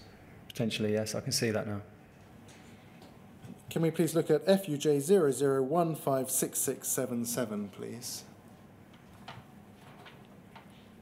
And this is an email on the 30th of November from Rachel Panter uh, to Gareth Jenkins. You are copied in on this email. Um, and she says, Hello, Gareth, hope you're well. Further to my previous email, please could you consider the attached and provide a signed and dated report which deals with individual, each individual case. Um, I would also like to update you on the developments on a couple of cases. If we, sorry, if we zoom out a little bit, you can see the attachments. So the attachments there are um, Dixon, Ishaq, Sefton and Neilder, and one other case. Yes. So she is sending, as you say, case summaries and indictments in those cases to Gareth Jenkins and asking him to provide a signed and dated report which deals with each individual case. Is that correct? Yes. And to, and to comment on the, the, those enclosures. Uh, and she says further down this email, the remaining cases of Grant Allen, Ishaq, uh, Dixon, and Sefton and Neild all require a report, uh, with the most pressing one being Grant Allen. I'm hopeful that I can um, get a, a form from the court which will allow you to claim some of your expenses for attending to give evidence, although this is more commonly used when acting from a defence perspective, so I do not anticipate receiving a considerable sum. Um, do, is it fair to say that there were no meaningful instructions provided to Mr. Jenkins, save what we can see here? Certainly no formal instructions. That's correct, yes. D- did this at the time raise any issues for you? Uh, I'm not sure I was copied into this email, is that right? If we scroll out, I, I? I do think you were copied into Beg your that email, pardon? Yes. But would you have Yes, seen I'm this as a, as a standard email sent to I- Gareth I'm- Jenkins? I'm not sure if there'd been any instructions prior to this email. I wasn't sure at that point. But I think you've said you didn't see any instructions No, at all. I hadn't seen any. Was this typical of the kind of correspondence that would go between yourselves and Gareth Jenkins in respect of a request to produce a witness statement? Yes. Can we look at FUJ 0015385, please?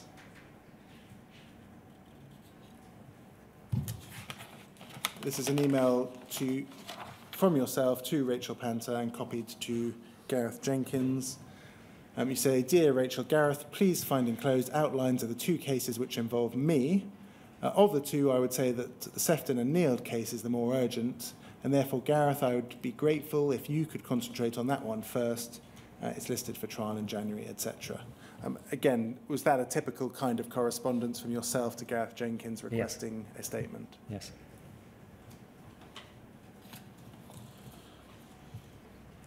Can we now move to POL 000893994, please?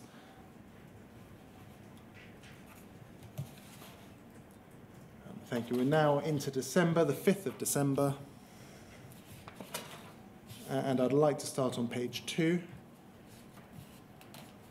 If we look at page three on this chain, we have that email that we've just looked at.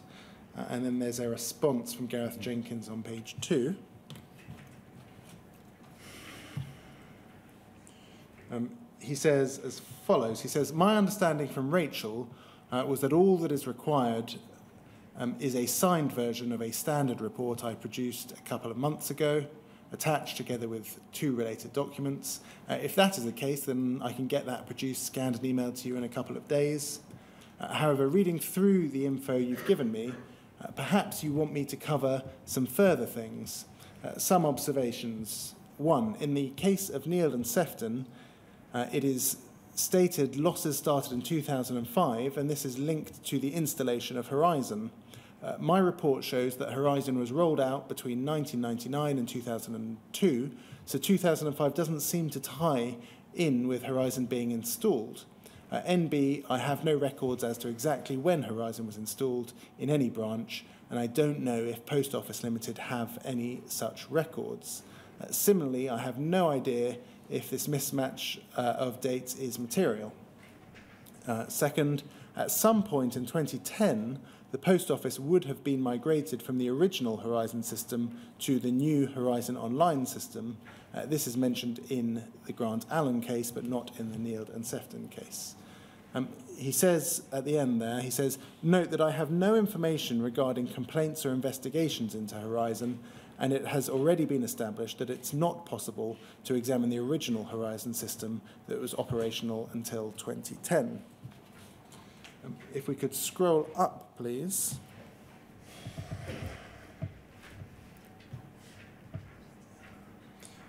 Um, at the bottom there, you have a response from yourself to Mr. Jenkins, and you say the only clarification I think I need at the moment relates to the timeline, uh, 2005 removal of cash account.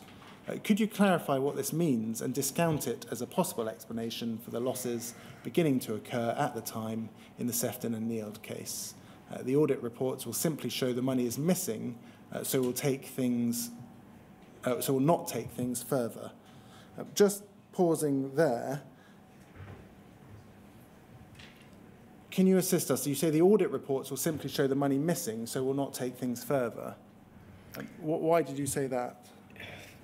Potentially for a couple of uh, reasons. Uh, I, I may have been confused with the financial uh, audit reports um, conducted by the investigators when they attended for, for the audit, financial audit, as opposed to what I think he is talking about, which is um, audit data. Yes. Um, So that, that's one explanation. Is one there, is there explanation. And the second explanation may be that uh, in his report he talks about transaction logs uh, being available. Um, and I may have come to the conclusion that simply looking at the transaction logs would simply get him back to the same point where the financial audit indicated that losses had been incurred. Do you think that you were qualified to make that decision? Absolutely not. Do you think you were sufficiently informed about the Horizon system to make I was that not, decision? no. Um, if we look at the top email um, from Gareth Jenkins to yourself, he says, I've now amended my witness statement to refer to the specific case and to mention the removal of the cash account in 2005.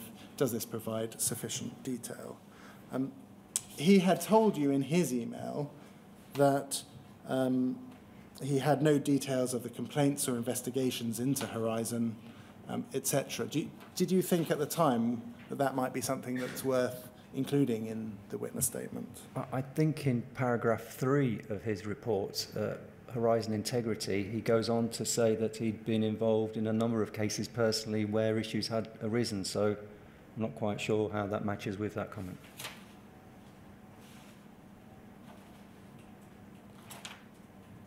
So when you considered that statement and considered the communication between yourselves, did you think to yourself, hang on a minute, these two things don't match up?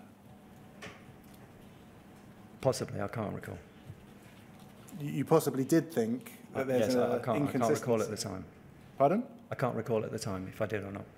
Would it not have caused you serious concern to have seen such a significant inconsistency? Yes, potentially. Would you not remember such a significant? I can't know. You can't remember. I can't remember.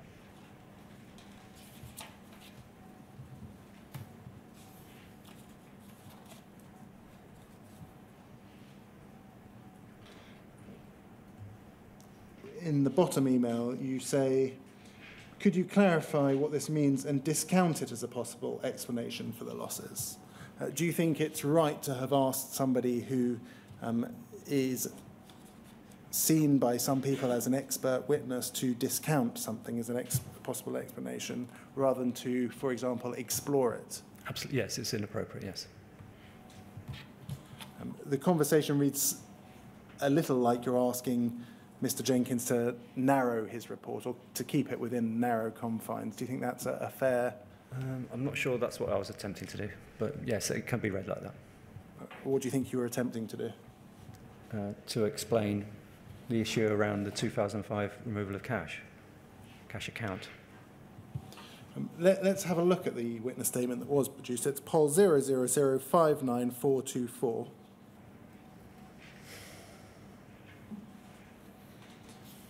Some bits are a little hard to read, they're a, a little faint, but uh, I just want to start by looking at the first paragraph. It says, I'm employed by Fujitsu Services Limited, who have been contacted by the Post Office to provide uh, the Horizon systems operating in post offices around the country.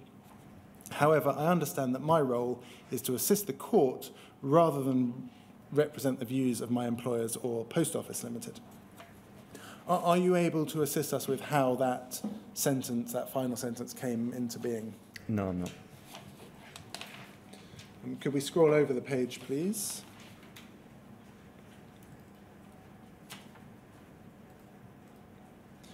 Um, it says in the middle of that page, I've been asked to provide a statement in the case of Angela Sefton and Anne Neild. I understand that the integrity of the system has been questioned, and this report provides some general information regarding the integrity of Horizon. Uh, there's then a paragraph below that, uh, which says, I note that in the defence statement there is a statement that losses started in 2005 and a statement that Horizon was installed at that time.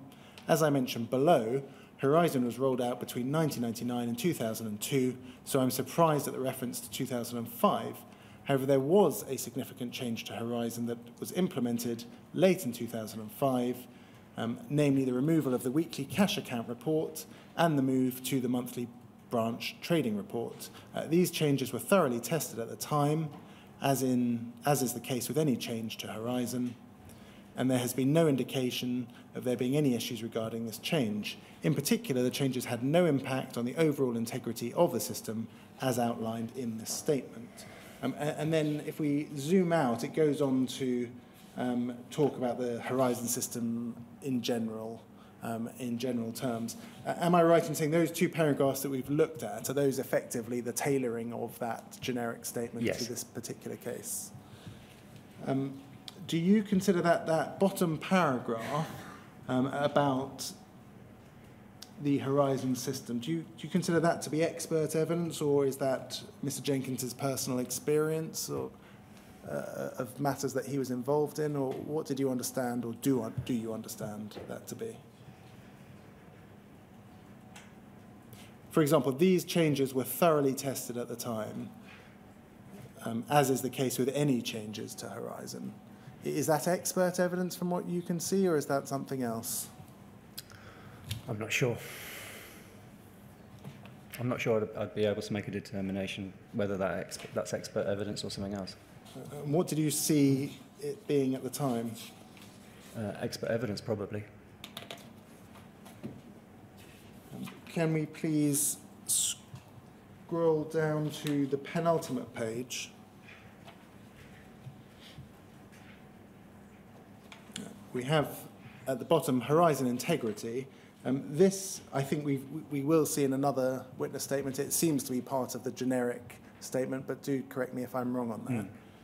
Um, it says, this is described in the separate integrity documents, uh, which I now produce, and he exhibits them. Um, I've been involved personally in a number of challenges to the integrity of the original Horizon system and produced witness statements uh, for a number of cases where the integrity has been challenged. I'm not aware of any cases where the integrity of Horizon Online has yet been successfully challenged in court. Uh, the main challenges in the cases in which I have been involved were presented as hypothetical issues, and my previous witness statements went through each of these hypotheses and showed that there was no specific evidence for any of them in the data presented. In summary, I would conclude that uh, conclude by saying that I fully believe that Horizon will accurately record all data that is submitted to it and correctly account for it. However, it cannot compensate for any data that is incorrectly input into it as a result of human error, lack of training, or fraud, and nor can any other system. Um, those final bits sound very much like the requirements that we saw um, for Mr. Bowyer earlier on, the things that he said he would like to be included in a witness statement. Uh, are you aware of how these paragraphs uh, came I'm to not, no. feature? No.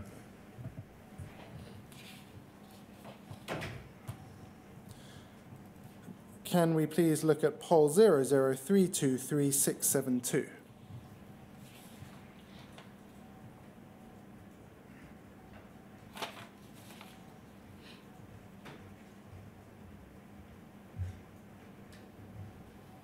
We're now in 2013, April 2013, and there's a disclosure request. Uh, Dear Steve, please see attached request received today. As discussed, please could you indicate a timescale, cost for dealing uh, with tho- these queries so Ms Gibson can consider the position. Um, and I'll very briefly just take you to the request itself. That's POL 003236673.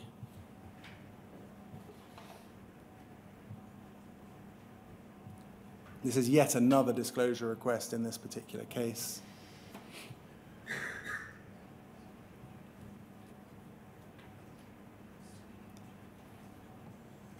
Um, the solicitors for Ms Neild are asking for a number of different things, and if we look at paragraph 12, uh, it's over the page, request 12.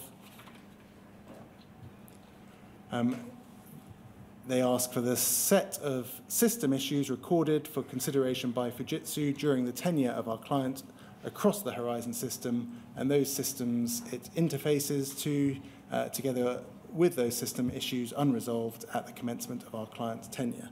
Uh, are you aware of anything in this case uh, being disclosed to the defendants uh, relating to issues with the Horizon system um, along those lines over and above what we've seen? No.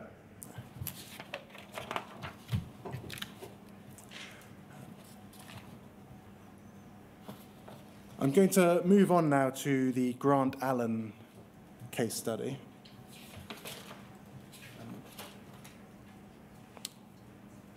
Sir, I, I, I wonder whether I can continue until one o'clock today, or we could take another break, and it might be possible that we continue through the lunch period. Um, I'm, I'm in your hands. We will certainly finish by three o'clock. Um, we can either do it by me continuing for half an hour now and taking uh, a, a lunch, or we can take a slightly longer break now in, instead of lunch. let- Let's canvass what the people in the room with you, Mr. Blake, what they prefer. I, I'm really essentially neutral about it. But if the consensus is that we should have less than a full lunch break, but a reasonable break now, and then forego a lunch break, if that's the consensus, I'm happy with that.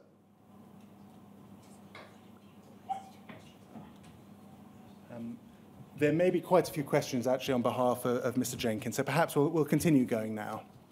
All right, fine. Um, the case of Mr. Allen, um, I'd like to very briefly take you through the case summary. Yes. Um, it's at RLIT 00000039.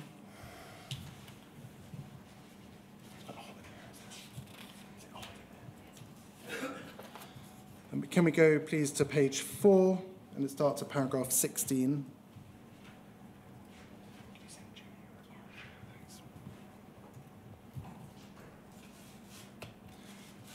I'm going to very briefly summarize this because, as I say, um, those in, in this room have seen these case studies on a few occasions. Um, on the 24th of January 2013, in the Crown Court at Chester, um, Mr. Allen pleaded guilty to a single count of fraud. Uh, he entered a guilty plea on a basis accepted by the Post Office and the court that he could not account for the loss, but admitted covering it up. He was sentenced to a 12 month community order. If we look at over the page very briefly, I'll just take you through a few brief paragraphs. Paragraph 18, halfway down, it says, uh, he described inexplicable small losses as well as some large losses which had been attributed to one member of staff. He denied that he had stolen any money. He expressed a willingness to repay the losses, but disputed that the sums represented actual loss to post office and maintained that they had been caused by issues with the system. Next paragraph. A number of logs retained by the post office demonstrate that Mr. Allen reported the relocation problems and his concerns about faults with Horizon. Next paragraph, please. During the course of criminal proceedings on the 2nd of November 2012, Mr. Allen's solicitors requested disclosure of an independent review of the Horizon system. So here we get into the Second Sight issue. Yes. Uh, Post Office's agents, Cartwright King, responded by indicating that the review was still pending. Uh, Cartwright King stated that, on receipt of the report, the Post Office would consider their continuing duty of disclosure and provide a copy if appropriate. Um, the next paragraph says the Post Office served a witness statement from Gareth Jenkins, and it says uh, this about halfway down that paragraph. Uh, Mr. Jenkins made clear that he had not seen detailed logs to see whether Horizon uh, could be responsible for the losses at Mr. Allen's branch. He concluded that Horizon will accurately record all data that is submitted to it and correctly account for it. Correspondence between Cartwright King and Mr. Jenkins indicates that Cartwright King instructed Mr. Jenkins not to analyse the detailed logs in order to avoid incurring additional costs. And then over the page, uh, the Post Office accepts that the prosecution was unfair and aff- an affront to justice, uh, and the Court of Appeal says POL is right to do so. In our judgment, notwithstanding his guilty plea, Mr. Allen's conviction is unsafe. Um, thank you, that can come down. Um, your involvement in this case, I think, began in May and June to June 2012, is that correct? Yes, I believe so. Yes. Can we look at POL 000899426? Uh, this is the investigation report produced by Mr. Bradshaw. Is that right? Yes. Yes. Uh, is this the kind of document that you would receive in your green pack? Yes. Yes. Just, just pausing there, do you have any view as to the abilities of Mr. Bradshaw?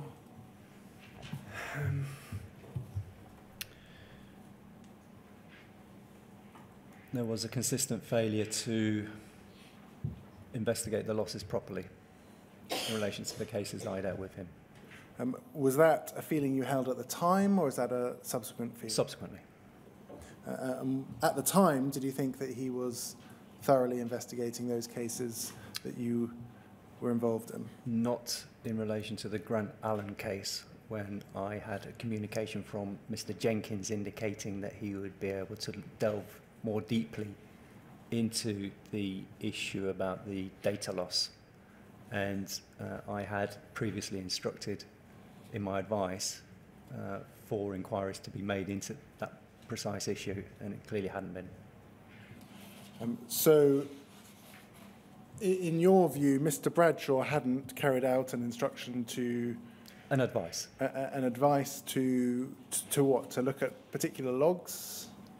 Um, I- believe the advice is in the papers somewhere. If, if you could bring that up, then it would help. We, we we will have a look at it Yes. shortly.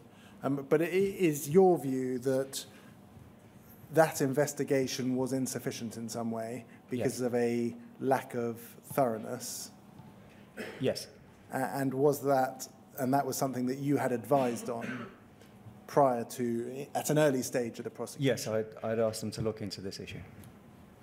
And was it seen as important to you at the time? Yes, Can we please look at uh, page three, the bottom of page three?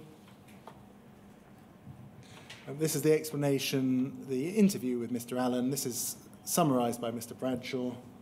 It says Mr. Allen said that between the period of November 2009 and March 2010, he had to make good losses in the region of uh, £1,400, and this can be seen uh, in his business accounts.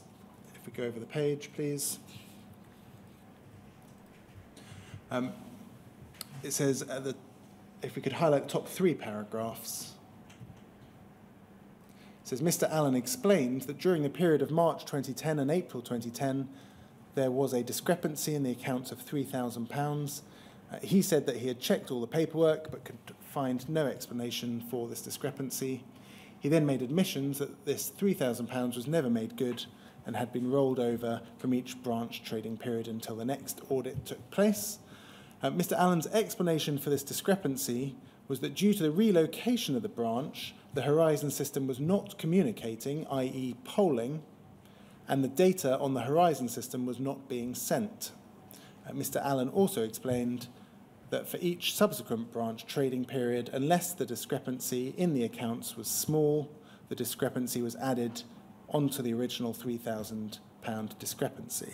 Um, it seems as though he, he gives quite a straightforward explanation or description of the problem with Horizon in an interview. Would you agree with that? yeah, absolutely, yes. He, he'd uh, had a, what he believed to be a data loss issue during his um, installation process. Your certainly your initial advice is at POL 000894454. Having read that investigation report, Uh, you then give a, a, what is a very brief advice that says, in my opinion, the, advi- the evidence is sufficient to afford a realistic prospect of conviction. Uh, the draft charge is attached. In light of his admissions and interview, the prospects of success are good. In view of the nature of the charge, amount involved, and breach of trust element, this is not a case suitable for a caution. We've dealt with cautions already. Yes. Um, and then it goes on to talk about mode of trial. But I mean, would you accept that this is e- even briefer than the advice that we saw before in respect of the sufficiency of evidence? Yes, because it, I mean, it says there, please see attached charging advice for further information. Yes. Yes. So there is attached to this a substantive advice that we're going to come to. Yes. Um, can we, before we look at that, look at POL 000894555, please? This is a draft of the proposed charge. Was that drafted by you? Yes. Uh, and now we'll look at the charge, separate charging advice, POL 000899057. Um, can you assist us with why, in this case, there was charging advice, but in the previous case study that we saw, there wasn't? Uh, as, I, as I said, um, as I took on uh, more of these advices, I, I developed uh, my approach. So this is you gaining experience on the Yes. job. Yes. Um, you refer there to the prosecution case, um, the audit, paragraph two, you say that he admitted um, that his stock would be short. Um, he hoped for an overscale payment to pay, make good the shortages, etc. If we go over the page, there's reference to the interview. Um, if we look at, say, paragraph four, subparagraph three, in the first four weeks, there were wiring problems with the terminals, which he believed meant Horizon was not sending out or polling data. So this is his, accountant interview. He says at four that the um, in that period a three thousand pound discrepancy arose in the accounts which could not otherwise be explained. Five, he never made good the loss, believing a transaction correction would resolve in due course. Six, in each subsequent balancing period, anything over um, other than insignificant discrepancies of £50 or less were added onto the original £3,000 loss. Uh, next, all such discrepancies were transferred across his stock unit. Uh, eight, he inflated the cash in hand to achieve a balance. Uh, and then nine, it says, uh, when cash was checked independently during migration to Horizon Online in 2010, he reintroduced cash already uh, counted into his stock unit to make it balance. And then you say at, at paragraph 5 inquiries conducted subsequently confirmed the non polled report following the branch relocation showed that an engineer attended on the 16th and 17th of March 2010 to complete a base unit build and that BT fixed the fault. However, as of the 17th of March 2010, the number of days non-polled is shown as 12. Uh, so it certainly shows as though there's some consistency between his account and interview and, and um, Yes. the facts here. There were at least 12 non-polled days. Yes. The branch confirmation team has not been contacted in relation to the £3,000 discrepancy.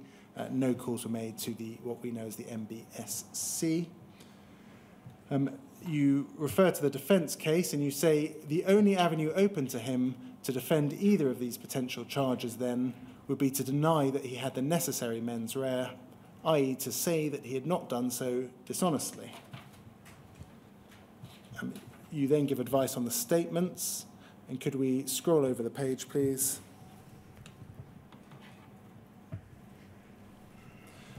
You say this, you say, with regard to the non-polled report, a separate statement will be required explaining in layman's terms why this does not show that data uh, could have been lost during the 12-day period identified, thus generating the £3,000 loss as claimed by the defendant.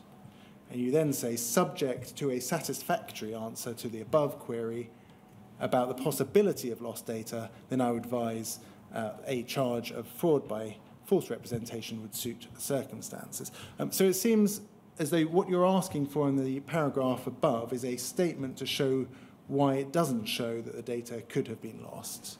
Were you aware of any basis for saying that it couldn't have been lost? As in, a similar problem to the one we've identified above. It seems as though what's being sought is a statement confirming something rather than Yes, investigating yes. something. Yes. No. No. So, I mean, do- you, do you accept now, looking at it, it would have been better to have said, Yes. uh, investigate the non-polling rather than please give us a statement that explains Absolutely, yes. why it doesn't prove the defendant's case.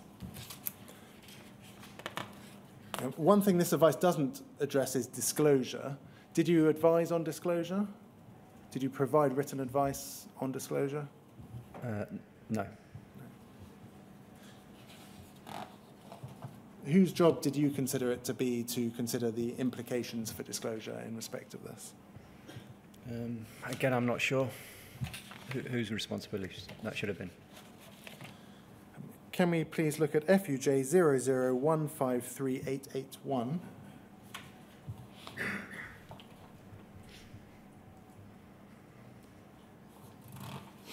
Uh, If we could start on the third page, please. There's correspondence between yourself and Gareth Jenkins. You say there, I attach an extract from Mr. Allen's interview. As in the case summary I sent you, he's trying to suggest that an initial loss of £3,000 is attributable to lost data uh, which has not reached head office because of installation problems. Are you able to comment on this scenario at all? Ultimately, we would need to discredit this as an explanation that holds any water. He denies stealing the subsequent losses, and therefore, the, by implication, may be seeking to blame the system for these losses as well. Um, do you think it was appropriate to say to an expert witness uh, that they needed to discredit an explanation? No. W- Why do you think this was happening over and over again? I I think it was an approach that had been adopted that I'd seen in other documentation uh, and used the same approach, and it wasn't wasn't right. Was it a particular culture at Cartwright King, or was it something else? I can't say. You said you adopted it from documentation. Do you mean documentation from the post office, from Cartwright King, or from somewhere else? Well, even if you go back to the very first um, email from the other solicitors, Stone King or something, it's a similar approach right there from the outset, isn't it? Can we please look at the second page? And there's a response from Gareth Jenkins. And Mr. Jenkins says as follows, and I think it, it I'm sorry, I have read out quite a lot this, mo- this morning, but I'm going to read out a bit more. Um, I'm going to read out the contents of this email. It says, I've had a look at the statement here, and I think it might be helpful to have a dig as to exactly what went on in branch at the time of the initial loss. I think I understand what he's claiming. However, where there are comms problems, it is normal to recover any missing data once the comms are sorted out, provided it's within 35 days. So this shouldn't be a reason for a loss. Also, there are processes in place to retrieve outstanding data where there are extended comms issues lasting more than seven days. Um, I could just make a general statement relating to that, or if we retrieve the data from that time, I could check out exactly what happened in that case, in this case. He says, I've checked with Penny in our prosecution support team, and Post Office Limited have not requested any audit data relating to this case. She's checked back as far as April 2010, uh, nor have we been asked about help desk calls, which would probably have occurred if there were comms issues. Is it worth asking Post Office Limited to request such data for me to examine before putting together a specific statement for this, or is a simple generic one sufficient? Uh, note that data retrieval is part of the standard service that Fujitsu provides, uh, but any time I spend on examining the data, say a couple of days, would be chargeable. So there are commercial considerations for you and Post Office to consider. Uh, now, it seems there from his response that the advice that you pointed us to earlier as suggesting that investigation should be carried out has not, in fact, been Indeed, carried yes. out. Yes.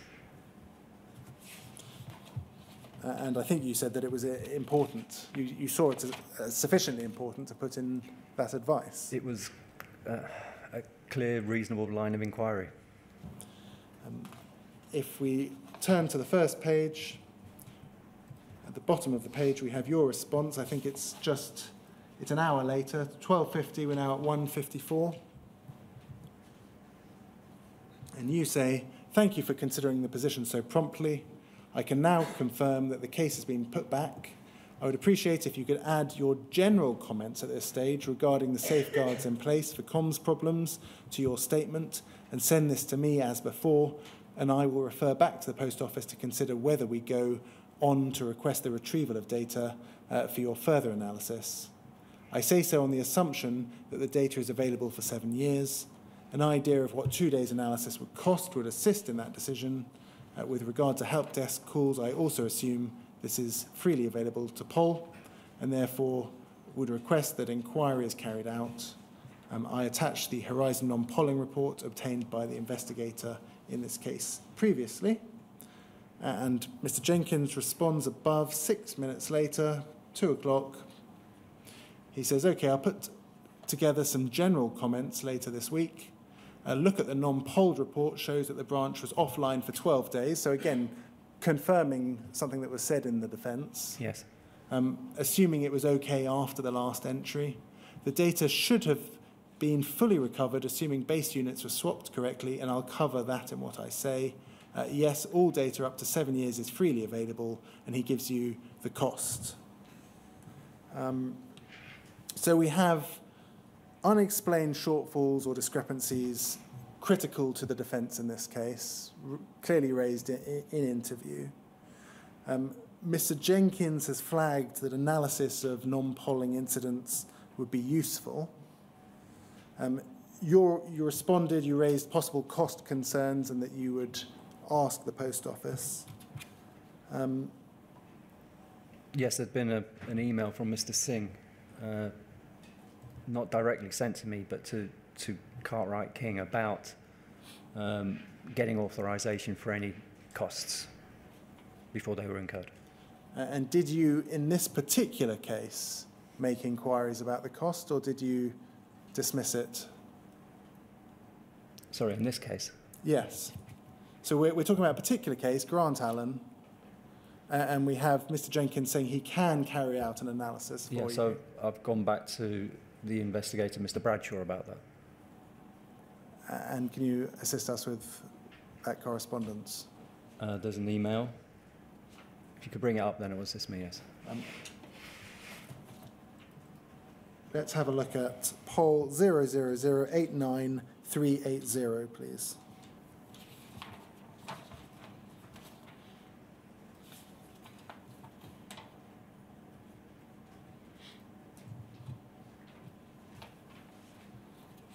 Is this the email chain that you're referring to? Yes, it is. Yes. Um, And is it on the first page that, is it the email of 12th of December, 1254 that you're referring to? 1254. That's the email from um, Mr. Jenkins. Yes. Uh, and then subsequent to that, I think I forwarded it to Mr. Bradshaw. It's the email above. Okay, so we have here an email from Gareth Jenkins in the middle um, saying, sorry for the delay. He's amended the statement to cover the specific case of Grant Allen, so it looks as though he's put in the uh, The issue couple of paragraphs into yes. the generic statement. Yes. Um, is that sufficient for you at this stage, or do I need to cover anything else? Uh, when you confirm it's all complete, I can arrange to get it signed and sent to you as before. And then we have your email to Steve Bradshaw.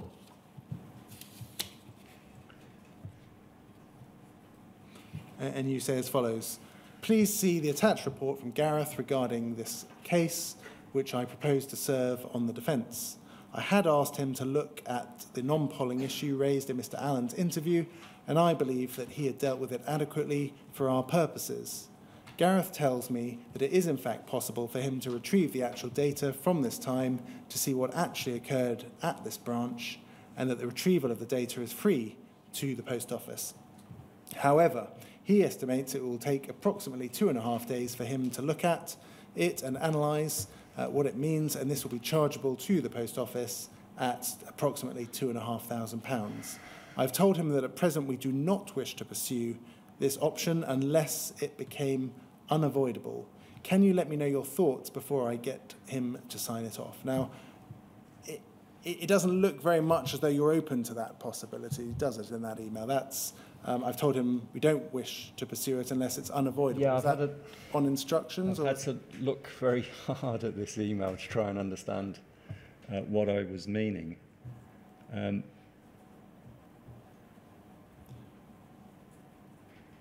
I've said, uh, I've asked him to look at the non-polling issue raised in interview. I believe that he had dealt with it adequately for our purposes. Uh, I'm not sure that that's correct. It's still inadequate because he's saying that there still might be some issue because of the installation. So although he said, uh, in theory, uh, the data should have polled once it was reconnected, he's saying that might not have been the case because of installation and, uh, and the, the, the process of that reinstallation.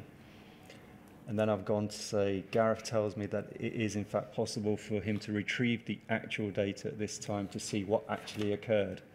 Uh, I think at this point I'm becoming uh, exasperated with him because I've understood now that he hasn't done this and clearly this is something that was possible and, and should have been done. Uh, and then I think I've lost my temper with him and said, uh, I've told him at present we do not wish to pursue this option unless it become unavoidable in the sense of, is, is this how we're really approaching this? You don't want to do anything unless we have to? Um, can you let me know your thoughts before I get him to sign it off? So I think it's become an angry email. So your reading of this email is that you are angrily, effectively telling off Mr. Bradshaw uh, for not doing enough. it's the only way that it, it it makes sense because here I'm asking him to look at it. We can do this. There's actual data to see what actually occurred.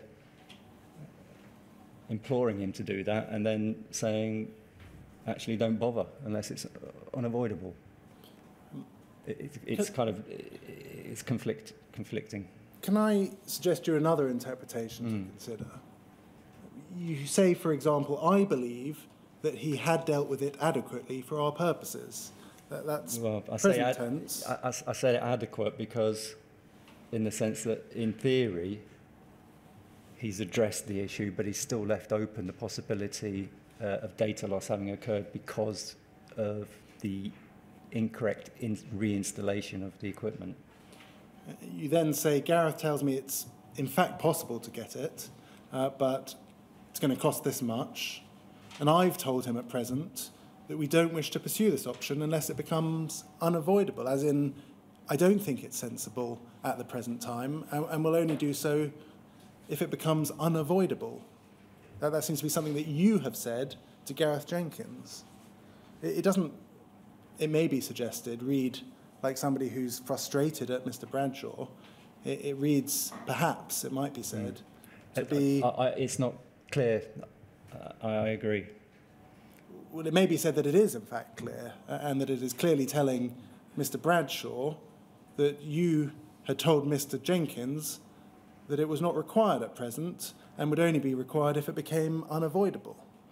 I think if you look at the later email, um, where I respond to Gareth and Mr. Jenkins and say the investigator is happy with the report, the choice of the word investigator perhaps wasn't accidental uh, and was uh, rather in an ironic sense. The investigator who's supposed to be doing this isn't investigating. So you think that there's another uh, email that suggests that the investigator is happy and that in some way it's, there's a hidden meaning to it? Yes. I think so. Well, perhaps we'll, we'll look at that email after the lunch break. Um, so might that be an appropriate point at which to take a, a lunch break? Yeah, yes, certainly. So what time shall we resume? Um, I'm just going to make it a quick.